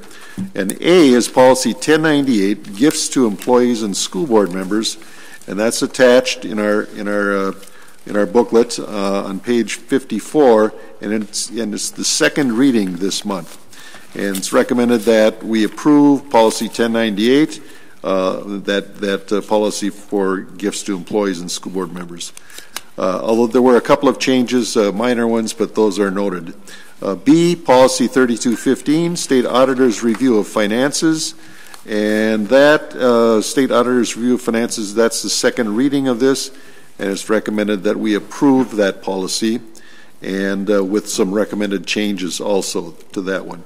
And C is bylaw 9115, school district elections, and the recommended changes, and this is the first reading of this one, and attached are some recommended changes to that bylaw uh, for school board elections for the first uh, uh reading. Contracts, uh, number four, contracts, change orders, and leases.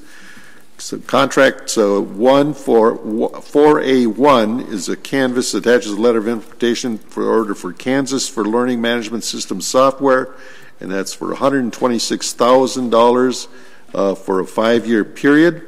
And it's recommended that we approve the purchase of this software. Uh, two, fuel education contract with fuel education for $42,000 uh, for online educational products and services, and it's recommended that we approve that contract. And we'll change orders in uh, B or leases, and then we go to the back side, and uh, resolution, we have a, a couple here. Resolution B-4-15-50-3257, acceptance of donations to Duluth Public Schools and it's uh, recommended that we approve that resolution. Okay, can, um, Yeah. so you're moving that, can I have a second? Uh, Seconded by Member Miernicki. Is there any discussion on this? Seeing none, all those in favor of Resolution B 4-15-3257, say aye. Aye. Opposed? That carries unanimously. Continue on, Member Westholm. And then B is Resolution B-4-15-3258, and that's uh, uh, release and pledge of collateral, and uh, it's recommended that we approve that resolution. Okay, can I have a second, please? Um, that's seconded by Member Miernicki again. Is there any discussion? Mr. Westholm moved it. Yes. Yes. He did. Yeah. Um, okay, is there any discussion? Seeing none, all those in favor of Resolution B4-15-3258, say aye. Aye. Opposed? That carries unanimously. Continue on, Member Westholm. Okay, and the third one, Resolution B-4-15-3256, authorizing a joint powers agreement with the City of Duluth for construction of multi-use Duluth tra- Traverse Trail on Lincoln Park Middle School property. And uh, I, I will call on uh, Member Loeffler Kemp to read the details of, of that one. It's on, what page is that on, Lizzie? It's on page 74. Okay. And again, this is Resolution B4153256, authorizing a joint powers agreement with the City of Duluth for construction of a multi-use Duluth Transverse Trail on Lincoln Park State, Lincoln Park School property. And whereas in March 2012, the Duluth School Board approved Resolution B312-2986, authorizing a joint powers collaborative agreement between the City of Duluth and Independent School District 709 to establish and operate jointly used facilities and services for the citizens of Duluth to eliminate duplication of effort and maximize the effectiveness of the services provided. Under this agreement, the collaboration on programs and joint use of facilities would be memorialized in Joint Powers Collaborative Specific Purpose Agreements as addendums to this master agreement. And whereas the City of Duluth, as its sole cost and expense, is constructing a multi use mountain biking Duluth Transverse Trail, a portion of which is intended to cross school district property at the Lincoln Park Middle School, as shown on Exhibit 8. The city therefore proposes to ex- execute a specific purpose agreement to facilitate the development of the school trail portion on school property by the city. Now, therefore, be it resolved by the school board of Independent School District 709, St. Louis County, that the joint powers agreement for the construction of the multi-use diverse Duluth Transfer Trail on Lincoln Park School property, well, as presented at the April 13th, 2015 Business Community Committee meeting and attached hereto is hereby approved. So can I have Member Westholm, would I you will- I will move that? Move that Okay. resolution. Member Westholm moved and seconded by Member Harala. Okay. Is there any discussion on this issue? Seeing none, all those in favor of Resolution B 4-15-3256, say aye. Aye. Opposed? That carries unanimously. Okay, Member Westholm, go ahead and complete the business report. Okay, then we get to uh, number six, informational items, um, expenditure contracts, uh, Superintendent Gronseth, uh, and I don't think there's anything that uh, Director of Business and Finance, if there's anything you want to comment on, uh, on that or not, okay. And that brings us to B, revenue contracts, there were none. C, other contracts, again, Superintendent Gronseth or uh, Super, or Director of Business and Finance has signed a number of contracts. I don't believe there's anything that need to be commented on at this time. And D, uh, Facilities Management Capital Project Status Report, and Carrie Leider uh, is here, and it- I don't know if, if uh, Carrie, if you have anything to, nothing to add on that one? Okay, and then uh, F, or E, contract signed in relation to the Long Range Facilities Plan, and again, Carrie uh, Leider will be present to answer questions regarding the attached report. And finally, Westminster Church property acquisition status slash Denfeld area land use update. And a number of future items, but uh, Woodland Hills lease, fiscal year 16 budget approval, C, uh, resolution for election year change, and D, discussion regarding community use of facilities. And that's the rather lengthy uh, business uh, re- report. So I Okay. move uh, the business co- uh, committee report for this month. Second? Thank you, Member Westholm, and that's been seconded by Member Harala. All right, is there any discussion? Let's see, Member Welty. Yes, I'd like to uh, withhold under policies and regulations 3B. Say that again, which one? 3B. 3B, okay. And Member Johnston? I would like to withhold uh, 1B and 1F and 2A. And I'd like to request a vote, separate vote for 3B and 3C.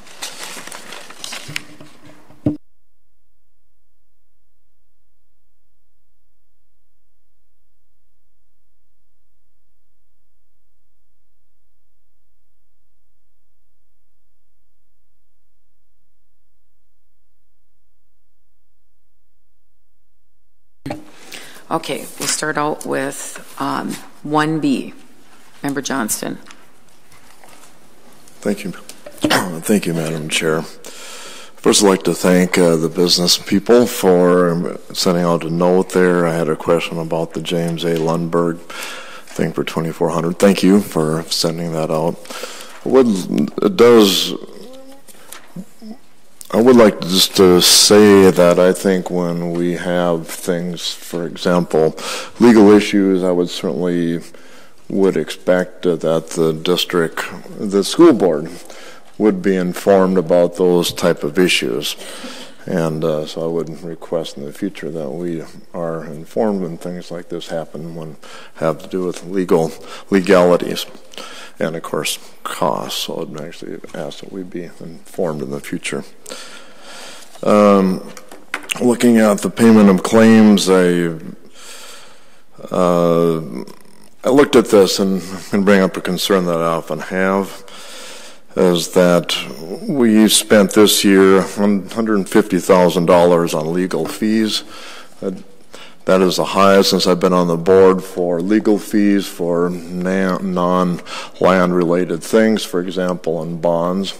In the past, while we're building the red plan, we had a lot of expenditures on that. If you, this year we didn't have hardly any. And in fact, our legal fees are almost twice as high this year than we have had since I've been on the board. I uh, want to again point out that in the last year, $140,000 of those went to uh, Kevin Rupp. Uh, and since this board has taken efforts to remove me as a board, we have uh, spent an estimated $150,000 uh, people know that this is just the tip of the iceberg and that this money is going to be going way up, I suspect. I think it's a shame that uh, this school board is hiring that much lawyers for personal vendettas by the superintendent and the chairs against me. I would hope that the community says enough is enough and that money should be spent for schools, not personal vendettas by the superintendent.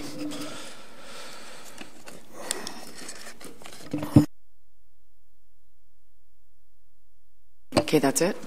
Okay, let's go on to AF, or 1A, 1F.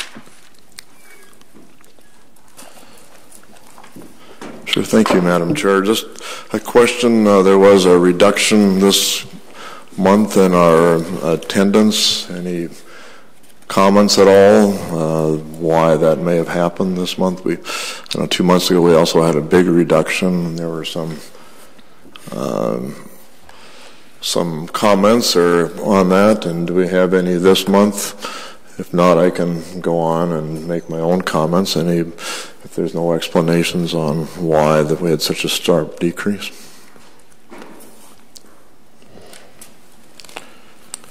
Uh, Member Johnston, members of the board, um, we have, I, I, guess, as we've discussed before, there, the reasons are are uh, quite varied. Um, I would say that uh, just in a, a, brief look at the uh, um, March explanation sheet, um, we have um, uh, 41 students that uh, were part of the 15-day drop. In other words, they uh, had no attendance record for 15 days, and that's an automatic drop per state regulations. Um, there's also um, uh, 43 students that uh, transferred without moving. Some of those certainly can include um, adjudication situations where um, they're attending somewhere else, um, but yet the family uh, has not moved. That can be part of it. Um, the uh, another larger item here is we had uh nearly nearly 30 students, uh, 28, uh, that did move out of the district, um, and and so there, it, it's quite a combination of things. Um, another 13 in addition to that, uh, so that's 41 in total, that 13 of which moved out of state. Um, and so 41 total moved uh, somewhere out of the district, either within Minnesota or beyond the uh, boundaries of Minnesota. So quite a number of things. Uh, basically, I would note that we're back to, in terms of a projection at this point, we're back to roughly the same level that we were uh, in the February report. Um, and so, uh, you know, we, again, we uh, kind of see how the, the next couple of months goes. Thank you, Mr. Hanson. Um, Member Harala, Um, Can I- Madam Chair. Is this related the same thing? Because I know Yes. Member Harala had her light on. Go ahead. Um, Again, we've, since last month, we lost 76 more enrollment. I guess I would question whether it was because of people have moved out. Uh, Of that, the changes that we had since last month, all of those, virtually all of those came from the high school, the 912. Obviously, if people moved out, it would be not just in high school. We lost uh, 83 students in high school. I guess a request that I would have is I'd like to know which high school lost those. Was it Denfeld or was it East? I would also like to point out here, again, I point this out because this is a, I think, a critical item for our school. This, at 8350, this is by far the lowest number that we've ever had. I don't know since when, since I would guess probably about 1925. Uh, we've lost 243 since the start of this year. Um, again, our budget was predicting about losing about 200. It looks like we're losing more than we were, were projecting on our budget proposals, our preliminary budget proposal. And I also want to point out that uh, since the superintendent has been on board, we've now lost 535 students, which is equivalent to about 10, $5 million in revenue we've lost. I don't think that this is, I think this is a crisis in our school. Again, you know, why are we losing so many students? I certainly hear that we've maybe lost some by people moving out, but since it's uh, virtually all from the high school, not from other parts of the school, I think there's other reasons. Again, we hear from our parents, I hear from my constituents all the time about large class sizes, the achievement gap, graduation rates, uh, our poor test scores, our East versus the West disparity, and of course the lawsuit that uh, everybody seems to be tromping forward to do. And of course now we have our racial incident. These are all issues that all of those things should be addressed, and they're not being addressed by this administration nor by this board. A reminder to board members to keep their um, comments civil and not attack our, our staff members. Member Harala, go ahead.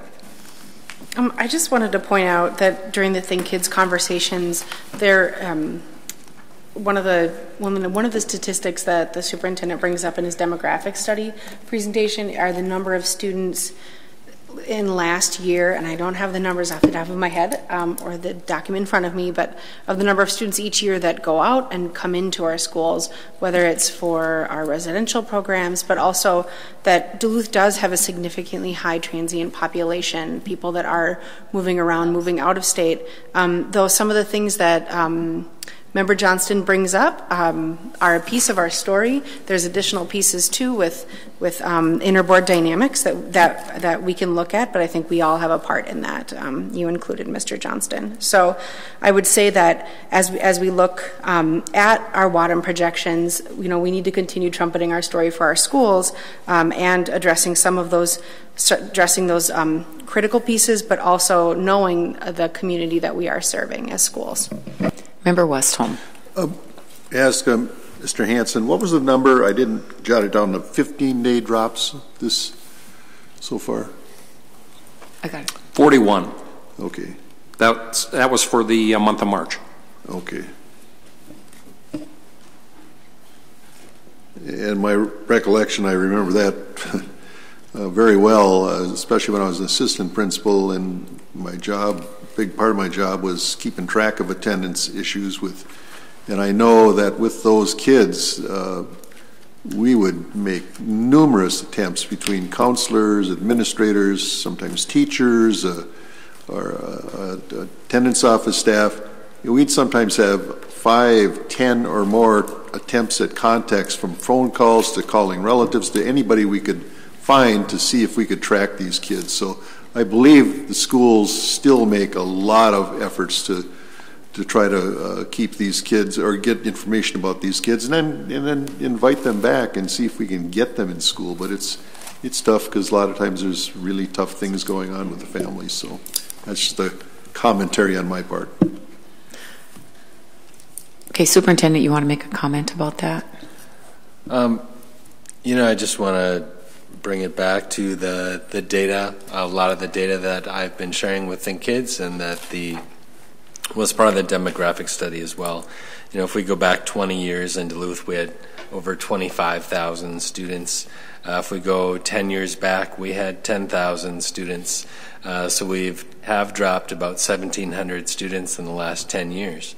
Uh, that was right in line with what demographers said would happen uh, 10 years ago. Granted, a little bit below what they said. Um, and now the demographer says we will continue to drop, uh, but very slightly because we're stabilizing. It is uh, thought that we would be within 100 students of where we are now uh, within the next five years. We are going to see some differences. Uh, there's a, a, large cohort in our elementary right now that we will see go through the entire system. Um, so we are going to see our elementary numbers drop and our middle high, and high schools rise and then drop as that large cohort goes through. Uh, I encourage people to go to our website and check out all of the demographic information that is available on there. It goes uh, 10 years history and also has five years of projections. So people can look at the maps, all of the data, all of the numbers for all of our schools uh, going back and forward in time. Thank you. Member Welty. Uh, I know that a number of members of the school board wince when the uh, discussion of the WADMs comes up, and I can understand that. We want to keep things positive. But uh, I think I think the things that we've said here, many of us need to be said, pro and, and con. Um, I particularly like the uh, comments of, of uh, former Denfeld principal Westholm, because I do remember as a school board member uh, talking about uh, the loss of students, and I have uh, a recollection that uh, when we agonized about those those students, we were we were informed that there were great efforts taken to. To, to, keep those kids. I know we had some dropout specialists uh, that uh, went, went out on the streets looking for kids, trying to bring them back. And but Art is, Art is right. Uh, 535 kids may be close to $5 million. Um, that means that uh, our, our pool and program shrink. If, if, a family, which is very transient, is about to leave, um, there may be nothing we can do about, about that, but, uh, but maybe transience is something that uh, is encouraged when kids don't have a, a, the kind of experience they like to have in the schools. So um, I, I, think maybe what I'd like to jump to next is just a comment to uh, to, uh, to Bill Hanson. I I appreciated getting some details about where the, the last batch of students over the last month went. I, am not sure that that's been a regular part of our of our uh, our discussion of WADMs, but I think that the the ability that this board can keep track of where kids go, we would be better off. I'd also like to have a discussion about what we do do, especially at the high schools, to try to talk kids into staying, what, what efforts we, uh, we take along those lines. And uh, uh, I think Art is also correct that our, and Member Harala, that uh, interboard dynamics plays a part in the atmosphere that we're, we're dealing with, and uh, I wish I could, I wish we, we had better uh, interboard dynamics. Um, but I think we need to have a, a long discussion about this, and, and, and obviously we're not prepared to do that now, except, you know, just kind of grab a hold of, of things as I just have and as others have. I think our district needs to try to figure out some sort of a uh, um, an attempt to figure out how to reduce these these these lost kids, and I think that would be a welcome discussion for us to have. Uh, I know we've talked about having uh, exit uh, interviews, find out why children leave. Um, And perhaps if we started doing some more proactive work trying to uh, develop a way of keeping kids in, we, we could stop having to wince every time we take a look at uh, a downturn in the WADM projection. So uh, I would hope that our administration uh, can get some ideas and put this on an agenda and, and uh, uh, you know, we can get past all the all the unhappiness when we talk about WADMs, but that will probably take something proactive. And, and I think Member Johnston's, I, I, guess the complaint would be he he doesn't see that proactive uh, uh, work going on, or has not been informed to date what we're doing to stop it. And so I would much I would welcome uh, uh a discussion along those lines. Member Johnston. Sure, I'll just be uh, uh, real quick. Um, just some clarifications on the past demographic studies. Back nine years ago when we did the RED plan, their their prediction was nine, 500 to 1,000 over what it is now, depending on what their low or their high projections. So we're we're 500 below their low projections. So the demographers were not correct. I'd just like to point out also that our latest demographic study that we just got here a month, a month and a half ago, they predicted that this year I think we were only going to lose, I believe it was 25 students. They predicted that with 99% certainty, and we've already lost uh, 200. They were they're already off. So I think that uh, does. Um, I would very, I would be very glad. Uh, last month we had, a, I think, about a 10 increase, and I said that was great. I would be very much glad to have an increase, so we wouldn't have to bring this up. But it keeps going down, down, down, and down. Member Loeffler Kemp. Sure. Um, thank you, uh, Chair Punyko.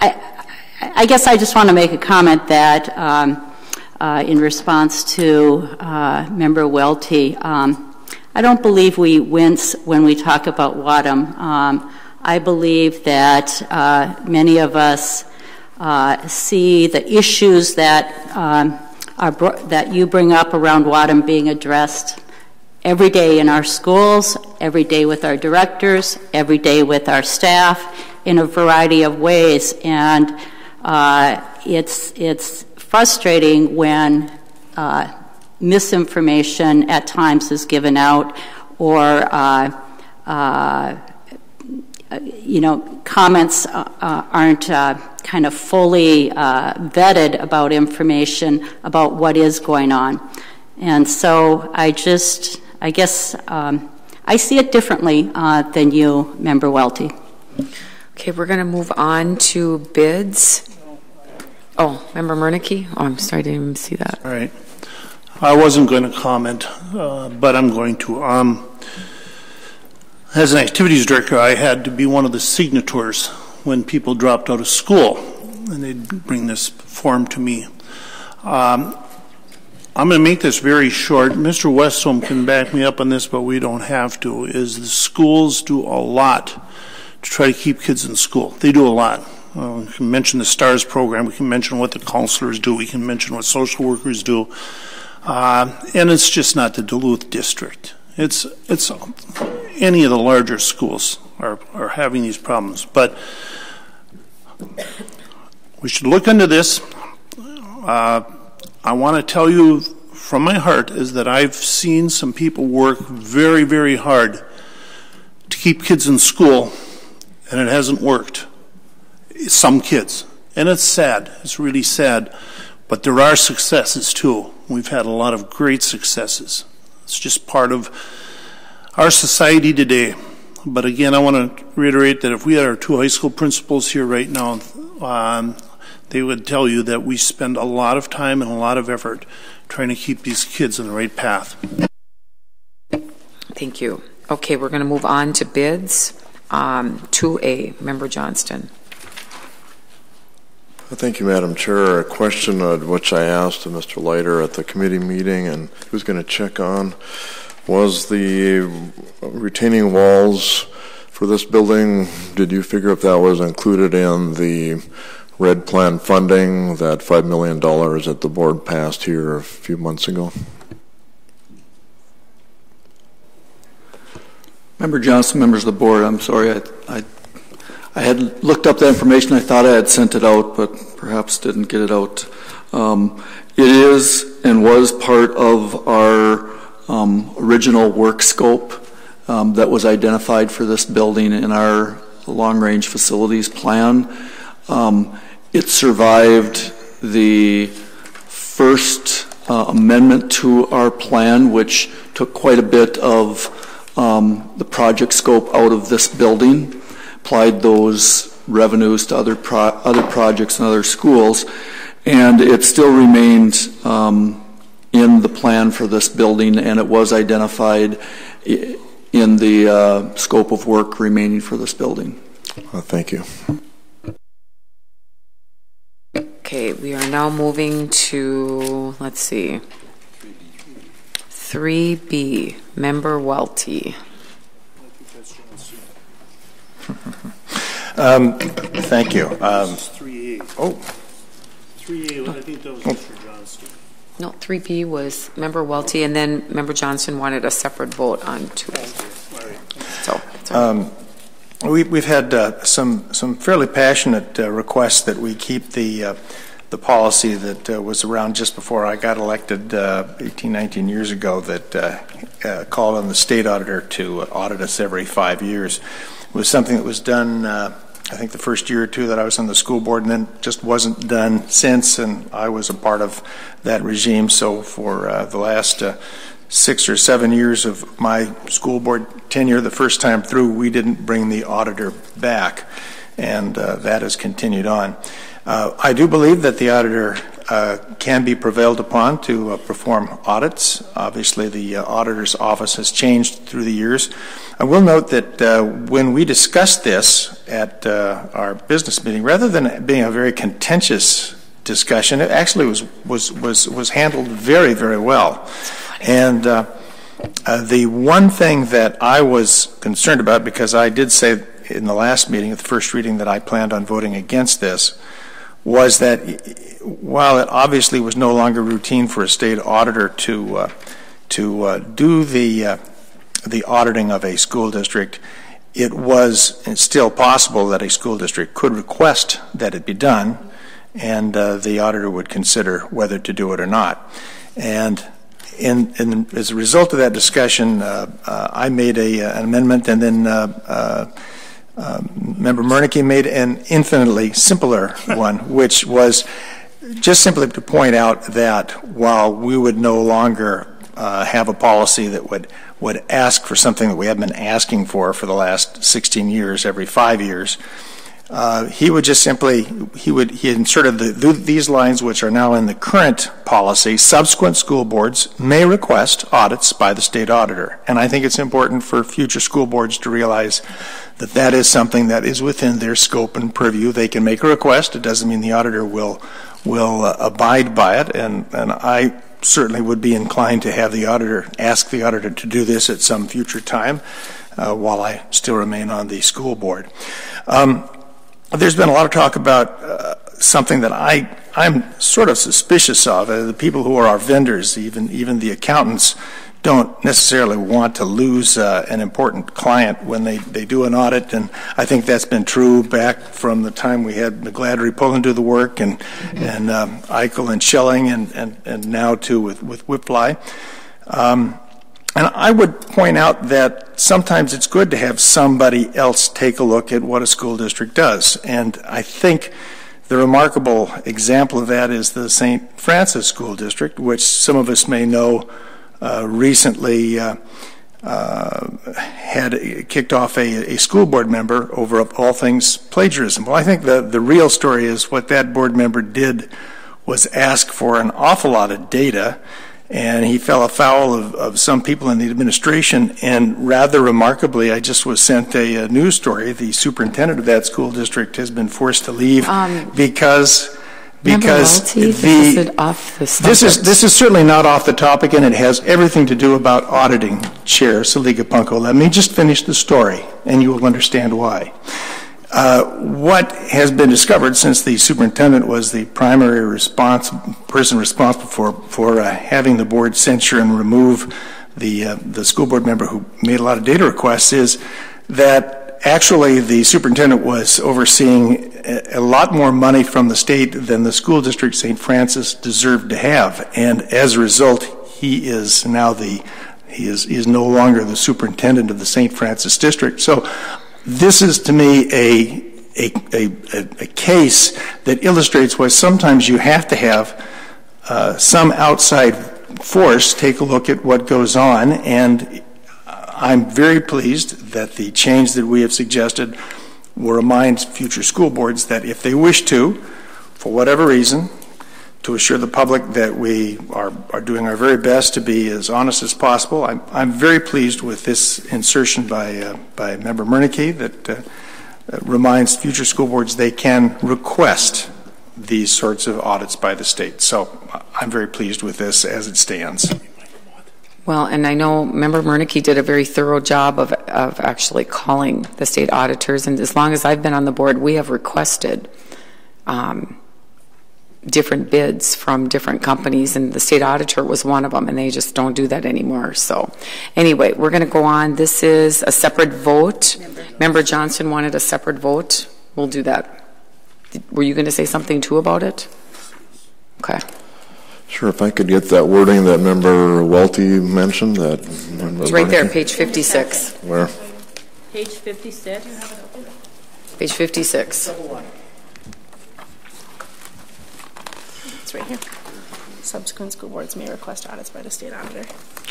Okay, I see that. Uh, I do have a couple comments on it. I'm going to be voting for this because I think it's a good update. I do want to second what Member Welty said about we actually had a good discussion. I want to thank um, thank the board for having that uh, discussion.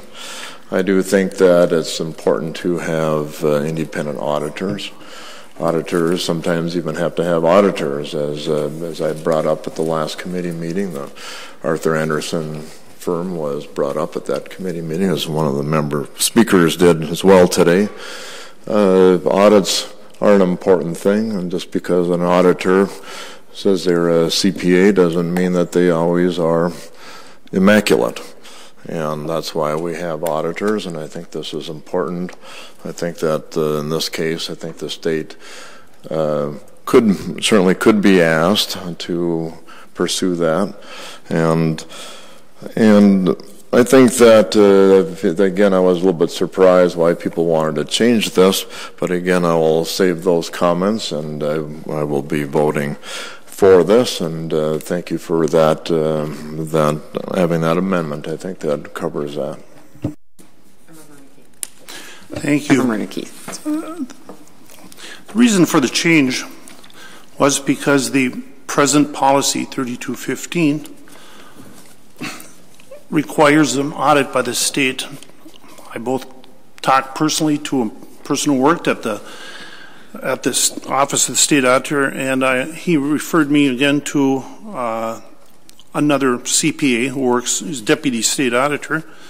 And from the deputy state auditor, I said, does the state auditor perform annual audits for school districts? And it says, quote, the office of the state auditor does not perform any financial and compliance audits for school districts. Does not. Now, we can have petition audits. You can ask them if you you know if, if a school board wants to, we can have a petition audit. Of course we can. But in my conversations with them, they don't do that. In fact, they're even cutting back on, on just the, the number of audits they do on a regular basis. County audits, for example, they're, they're down to nine, I think. The Minnesota School Board Association recommends independent certified public accountants to audit school districts. Rochester, St. Cloud, Apple Valley hire private auditing firms. Uh, it's just it's something that, that needed to be changed, and, and it has. And I appreciate Member Welty's comments. I, th- I think that subsequent boards, if they want to have, ask the state to come in and audit, they have all the rights in the world to do that. Member Johnston. Sure. Just to just to A couple um, clarifications on that. What the state auditor replied to you, the CPA you mentioned, was that they do not perform annual financial audits. Annual is a key word which you neglected to put in there. Of course, the auditor will take do audits if they're asked to. Unfortunately, we didn't have a lot of. Uh, there was a petition audit here, which they didn't do, but that's that's another question. And nobody ever has said that we should not be contracting out CPAs to do our audits, and uh, uh, I certainly appreciate being em- re-emphasizing that. But I never recall anybody ever saying that we should not be having uh, independent auditors to do that. And, this policy, this language, will make sure that happens. It will assure that we, if we want, uh, which I would like to have uh, the state come in and do a in-depth financial audit. Uh, um, we can still do that, or what they call an investigative audit. We're going to vote on number 3B, just that, um, State Auditor's Review of Finances. All those in favor say aye. Aye. Opposed? Okay, that carries unanimously. And we're going to move on. Member Johnson wants a separate vote on 3C, correct? So is there any discussion? Member Johnston? Just uh, correct me, is this the first or the second reading? Mm-hmm. First reading. Okay. Member Welty? Uh, yes, a couple of questions about this, and then a, a, a comment that I mentioned at the committee meeting. Um, as I understand it from our discussion, uh, this year is an election year for the Duluth School Board uh, 2015, and it is assumed that should this pass, uh, the elections this year will proceed as planned. Is that correct? We don't know yet. We have to decide that next me. Yeah. Next me. Me. Oh, first reading. so First reading. Yeah. No decision. Well, then, in other words, we, we have not determined that the elections for 2015 would, will proceed, that this somehow might change that? Point of order now? Um, can Just I let point him, of order? Member Welty? Uh, I'll, I'll yield the floor. Go ahead. Um, we, by, by our rules, we have to have a first reading, and that's what this is. We still have, I mean, we, we can't pass anything tonight on this, but uh, we will discuss this at the next business meeting, and, uh, and that's the time where we should come up with the changes that uh, we were talking about, three-year terms and the such, at, the, at our next business meeting. Right. Member Welty, go ahead. Oops. I guess I'd have to say I beg to differ. I, I guess I was assured when we talked that while we might have three or five year, we might have three year terms, that would be something that would take place in future, future, future election years as we, we uh, went from this odd year election to a, a, a new election. But might not be, it might just be regular four. Well, if, if I was assured that all of the people here on the school board were to serve out the terms uh, that they were elected to, and that this board was not, um, perhaps it is thinking about cutting a year off of a term that somebody was elected to, or adding a, a term on without having the, the public participate, I, I find that very troubling if that's what's being contemplated. And, and, and I guess the, the question that I asked Byrne was, would, would that happen? And, and, and I guess in the first reading, I would like to know what the, what, what the impact of, of this uh, particular uh, is. I mean, is this meant to give somebody that's currently serving an extra year they weren't elected to? I don't know. Member Miernicki, did you Uh, want that's, that, way- well, that's. We don't know yet. Is there, is there anybody that can an, answer it? The, the chair has just said that she doesn't know. And I would like to have an answer before I even want this to go on a- for a second reading, because if that was to be the case, I would vehemently oppose giving a uh, elected uh, member an additional unelected year via policy change. Member Miernicki, go ahead. Well, we discussed this, and what we, we, we talked about was the next, and again, we haven't decided anything, but you, you, you know, you're, you're saying, well, are we going to shorten anybody's term? And the answer is no, I, not that I know of and not that I support. Or are we going to add to people's terms? And I said, not that I know of, not that I support. And I think it stays at that. I mean, we, we can be very cautious about this, obviously, but that's not the intent. As I understood it, in, in our discussion, we said if this passes, the next election will be for a three-year term, and then and the two-year uh, election after that, I mean, well, uh, 2015 would be for a three-year term. Uh, you remember I was doing that at the meeting, and the uh, 2017 would be for a three-year term. It would not shorten your present term or add to my present term. It would just be those running in 2015 would understand. And if you remember, the superintendent quoted a, a state statute that gives school districts the power to make an adjust, one-time adjustment to reach the, the even numbered years. So what we do in May, what we're going to do in May is we're going to sit down and say, all right, where do we want to go with this? And then we bring it up to the in the May final um, school board meeting to to make a decision. But I didn't see any sentiment as far as, and, and I don't think we could shorten anybody's term. And I didn't see any sentiment for adding to the present terms. Okay, I'm going to move on just because we have a lot of board members that want to make comments. Um, Member Loeffler, if you want to clarify something? Yeah, I just wanted to, to clarify the intent of this being brought forward was part of our early budget discussions as a cost savings and um, a recommendation from the Minnesota School Board Association. That was the intent of bringing this forward. And uh, there would be, uh, and, and, we talked about this, um, about just getting more information when other school districts have done this, uh, what other processes have they used. And so just a reminder again, the intent of this came from the Minnesota School Board Association. The intent was uh, it was brought up in our budget discussions for cost savings. Okay, Member Johnston.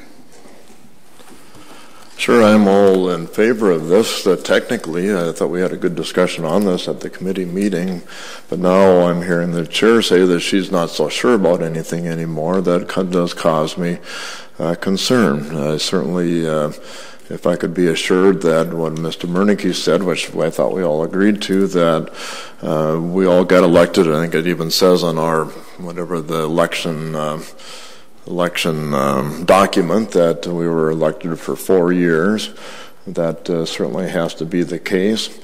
Uh, but it doesn't mean we were elected for three years or if we were elected for five years. But going on in the future, as Member Miernicki suggested, I thought was a good idea. But uh, seeing now the consternation or the, the concern here, the confusion, which I think it can very well be, that I'm going to make a motion that we table this until we clarify this, until we know what the intent of the board is. This is um, we have plenty of time to do it and actually get information and our suggestions from the Minnesota School Board Association. Okay, so we have a motion to table this um, and a second. So you have that down, Member Loeffler Kemp. Okay, we're going to have some discussion because some of these um, issues, I think with the first reading, you can make some changes like we did with the gift.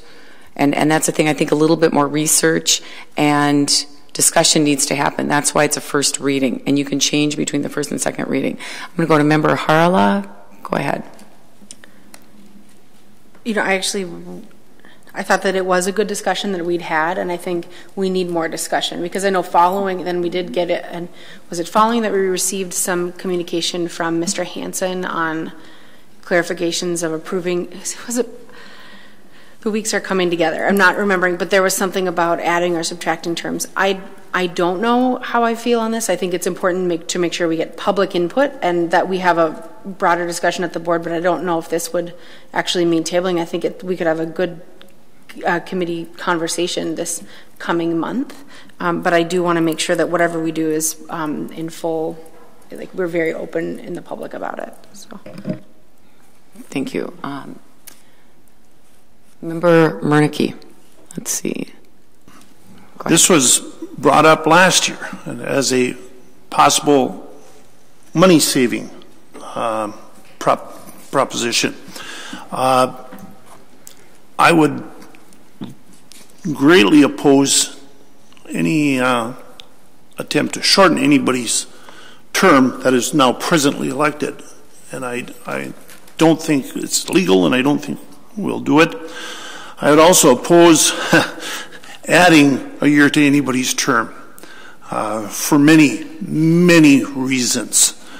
Um, I remember having this discussion, and I think Mr. Welty and I were in agreement that it, if we tell the people who are going to run that one time only, three year term, and two years from now, one time only, three year term, they'd have to accept it if they're going to run. They can always run again. But that would get us on track with the even numbered years. Uh, I don't, I, I, there's this feeling that, that we're trying to pull something, that this is nefarious. It, it's, it's basically we're trying to get our elections onto an even number year, and I think that's a solution. Member Johnston. Wait. It's not working. Wait. Well, I'd say I agree with Member Miernicki, uh, Member Harala about that. I think that uh, that's what we're saying. That's why I've asked to table this. I think that um, it's appropriate. We've already had, I think, more discussion than really warrants moving forward. So I think it's time we do table it and, and talk it over. We had a good discussion in the past. Maybe we're going to have to be more specific in the, and I may be adding an amendment after more thorough discussion. Member Welty. Thank you, uh, Chair Seliga Um, you know, I, I am uh, I am reassured by, uh, by, by Member Harala's concerns and and uh, and Member Miernicki's uh, belief that uh, that this is not likely to shorten anybody's term that they were elected to or add to a term years that were not placed before the voters. Um, I, don't know that it's a that, that I want to suggest that there's a question of anything nefarious. Uh, I just asked a question, which was which was which was related to the same discussion that we had before, and I suddenly got an ambiguous answer that nobody could be sure whether this would cut off a term or whether this would add years to somebody's term that, that they were not elected to serve. And I'm glad to know that, that what looks to me right now to be a clear majority of the school board is, is in agreement that that would be a terrible thing. Um, but I do think tabling this is a good idea. Uh, it was, as people have mentioned, originally brought a year ago as a discussion for the possible savings of $50,000 because uh, we wouldn't have to share the have to shoulder the entire burden of, of, of an election, which is about fifty thousand um.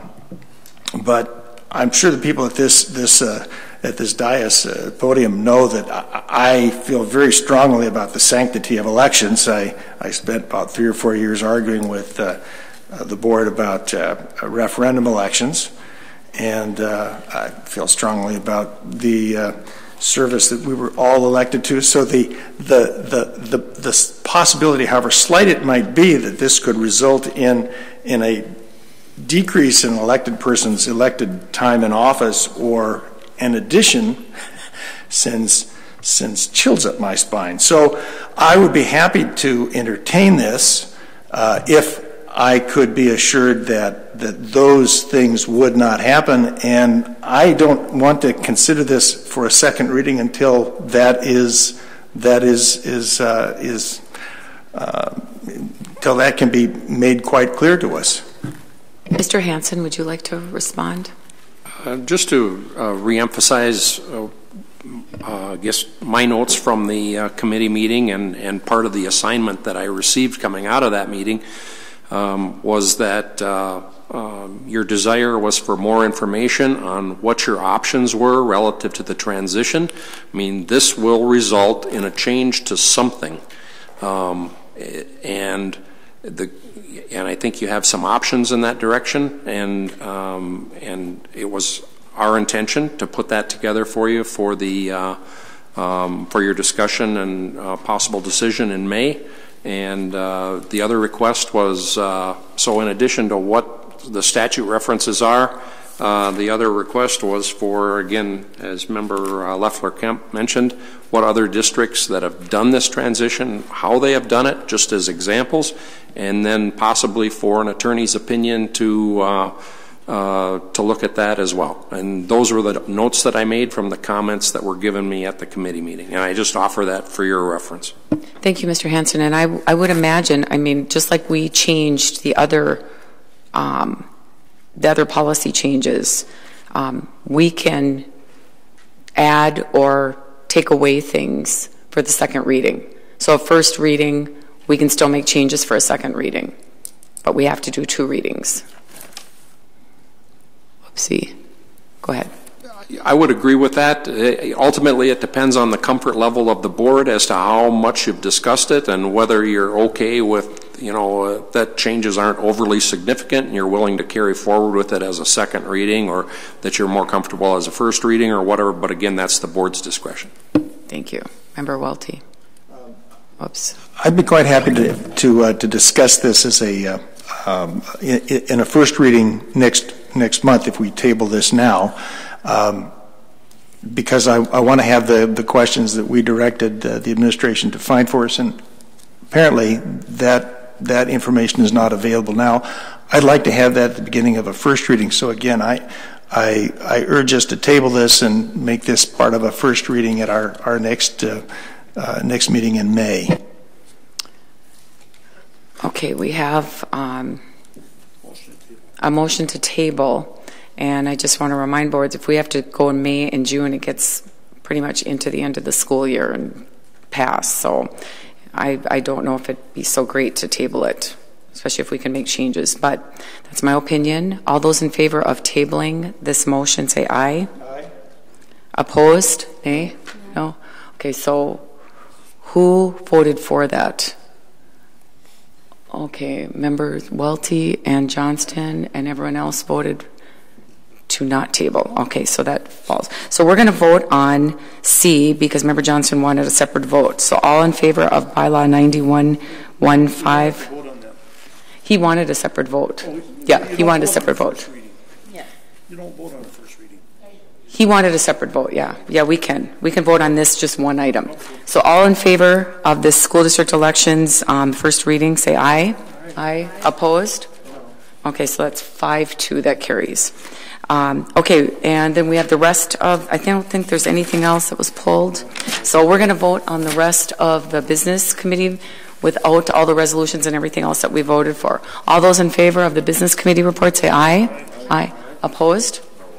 Okay, that passes six to one with Member Johnston voting against it. And I think that is it. We don't have any special resolutions, correct? I don't think we do. And um, Member Harala, did you want to say something? Go ahead. I just wanted to highlight, um, I I was reminded as I walked in tonight that it's Administrative Professional, Professionals Day and Week, and just a big thank you to and to Melinda for all, you- for all you do for the board, um, with all of our details and supporting. We really appreciate your work, and just please pass that, we appreciate both of you immensely, but also please pass that along to the rest of the administrative staff as well, too. Thank you, Member Harala, for remembering that. And I'll go Member Welty. Yes, I have some questions uh, that I, I would uh, like to have some answers to. I, I don't believe that I've seen anything in, uh, in emails that uh, outline this, but it has to do with uh, uh, a, a concern of, of Member Johnston's, and that has to do with who represents us. I have heard that we have had a change in attorneys in the case in which we we brought against Member Johnston, but I've not I've not been told that by the administration. Um, it, I believe Mr. Member Johnston requested about three months ago for the latest information about uh, uh, billing by the uh, the attorneys that we have had so far. In fact, uh, we are heading for a uh, hearing on May 6th, not very far into the future, and, and I've not been given any uh, insights as a member of this board about about these uh, attorneys who are representing my interests after uh, after three or four months, and I think it's time that uh, I be given some of that information. So uh, I, I hate to say that this is a demand, but uh, I I am a member of the board, and I'm embroiled in something that uh, is un, unpleasant, but it's something I need to know about, and so far I've been kept in the dark, and I, I hope that changes very quickly. Go ahead, Superintendent. Um, I believe um, what you're referring to is um, Member Johnston's case against five members of the board, and you were not included in that case. Um, when the board, and when a case is brought against the board, it is the insurance company who chooses um, who represents the district in that case. And so those who were named in the suit have been contacted by um, that representation. Okay. Member Loeffler Kemp. Um, I was, I'm, I'm going to pass. Thank you. Okay. Member Welty. I, I, oh. Well, I, I've heard the justification given as to why five members are a part of this, but I'm a part of the school board. I'm, I okay the, uh, I okay the costs. Uh, I would like to have a, uh, an attorney's justification for keeping me in the dark about this. Uh, I have been an ally of art on a number of things, so I can understand why some people might not want me to, to be privy to this information. But uh, as a school board member, I am I am a part of, of, of, this overall case, and, and I want to have some legal uh, explanation that I can take a look at as to, to why I'm not a party to the information that the attorneys representing the school board uh, using taxpayer money. Uh, I, I, do not understand why I am not, not been given that information, and I'm rather alarmed that no one told me that this would be the case, and I probably should have asked this question some months ago, so I could have raised the objection earlier. But I would like to have some attorney explain to me why I, as a board member, uh, am being denied information about, uh, about, about this suit. Furthermore, we do have a hearing coming up, um, I think that's May 11th, and that one, I believe, is the one that some people have been saying we were going to have as, as early as January, but it's been postponed about uh, four or five months. I, I certainly am a part of, of that, and I know nothing about what our attorneys are doing in, in that realm either. And if the other board members are being informed about that process and I'm not, that's not right. That's not happening. So, Superintendent, go ahead. Um, as you may or may not know, I have very little to do with any of these cases. I have not served as the uh, go-to person. Mr. Hanson has served in that capacity, and the board chair or Mr. Hanson would be able to answer your questions as I have not been involved. Thank you, Superintendent. Um, and I don't know anything yet about May 11th. Haven't heard anything. So that's where we're at. Member Johnston.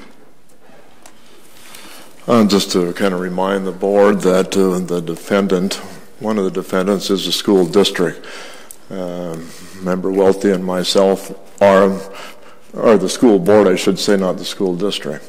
And we are part of this board, and certainly Mr. Welty is entitled to get all this information.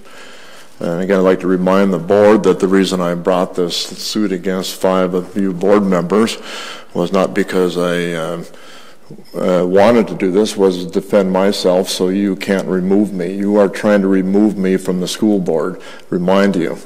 And, uh, and that's what I'm doing. Five of you board members voted to start the process, and we all have every, uh, every indication, as everybody in this town knows, that you will follow through with that no matter what the hearing says. And uh, that is why I've done that. I've said that publicly. It's very important. And so the reason uh, you are defendants is you are trying to remove me from a duly elected position by 20,000 people in West Duluth, which is the goal of five people to remove me uh, when I represent West Duluth is really, really unbelievable. And that's why I'm defending myself. Just to, just to remind people, we're, we're, I estimate somewhere around $150,000 now this is costing. Uh, again, this is just the tip of the iceberg. Uh, we're going to be way, way more than that before this is done, unless the uh, superintendent and the chairman of this board uh, decide to do something else, not pursue their personal vindictiveness against me and my spouse. Member Welty. It, it strikes me, again, as an untrained, uh, somebody untrained in the law, that if if the defense of the five school board members who have been uh, sued by Member Johnston um, are not taking or treating this as a school board action, perhaps they should be dipping into their own pockets and paying for their own defense. I do not see how we can use public money and deny this school board member, who's not a party to this, uh, from information as to what the school district's attorneys are doing. That just strikes me as asinine, and that's why I want to have some some legal opinions because it seems to me that suddenly, on something that is critical to the school board, to this community, to this school district, we have one elected at-large school board member who was elected by the entire community who's who doesn't have any information. This is this is not a very clean process. So I'm looking for somebody, and if it's not the superintendent, uh, I'm looking for somebody to, to provide me with the details or give me a strong justification so I can go consult attorneys and find out whether or not I, as a school board member, am being deprived the public or the data that I, as a board member, should know. Okay, we're adjourned at 8:50.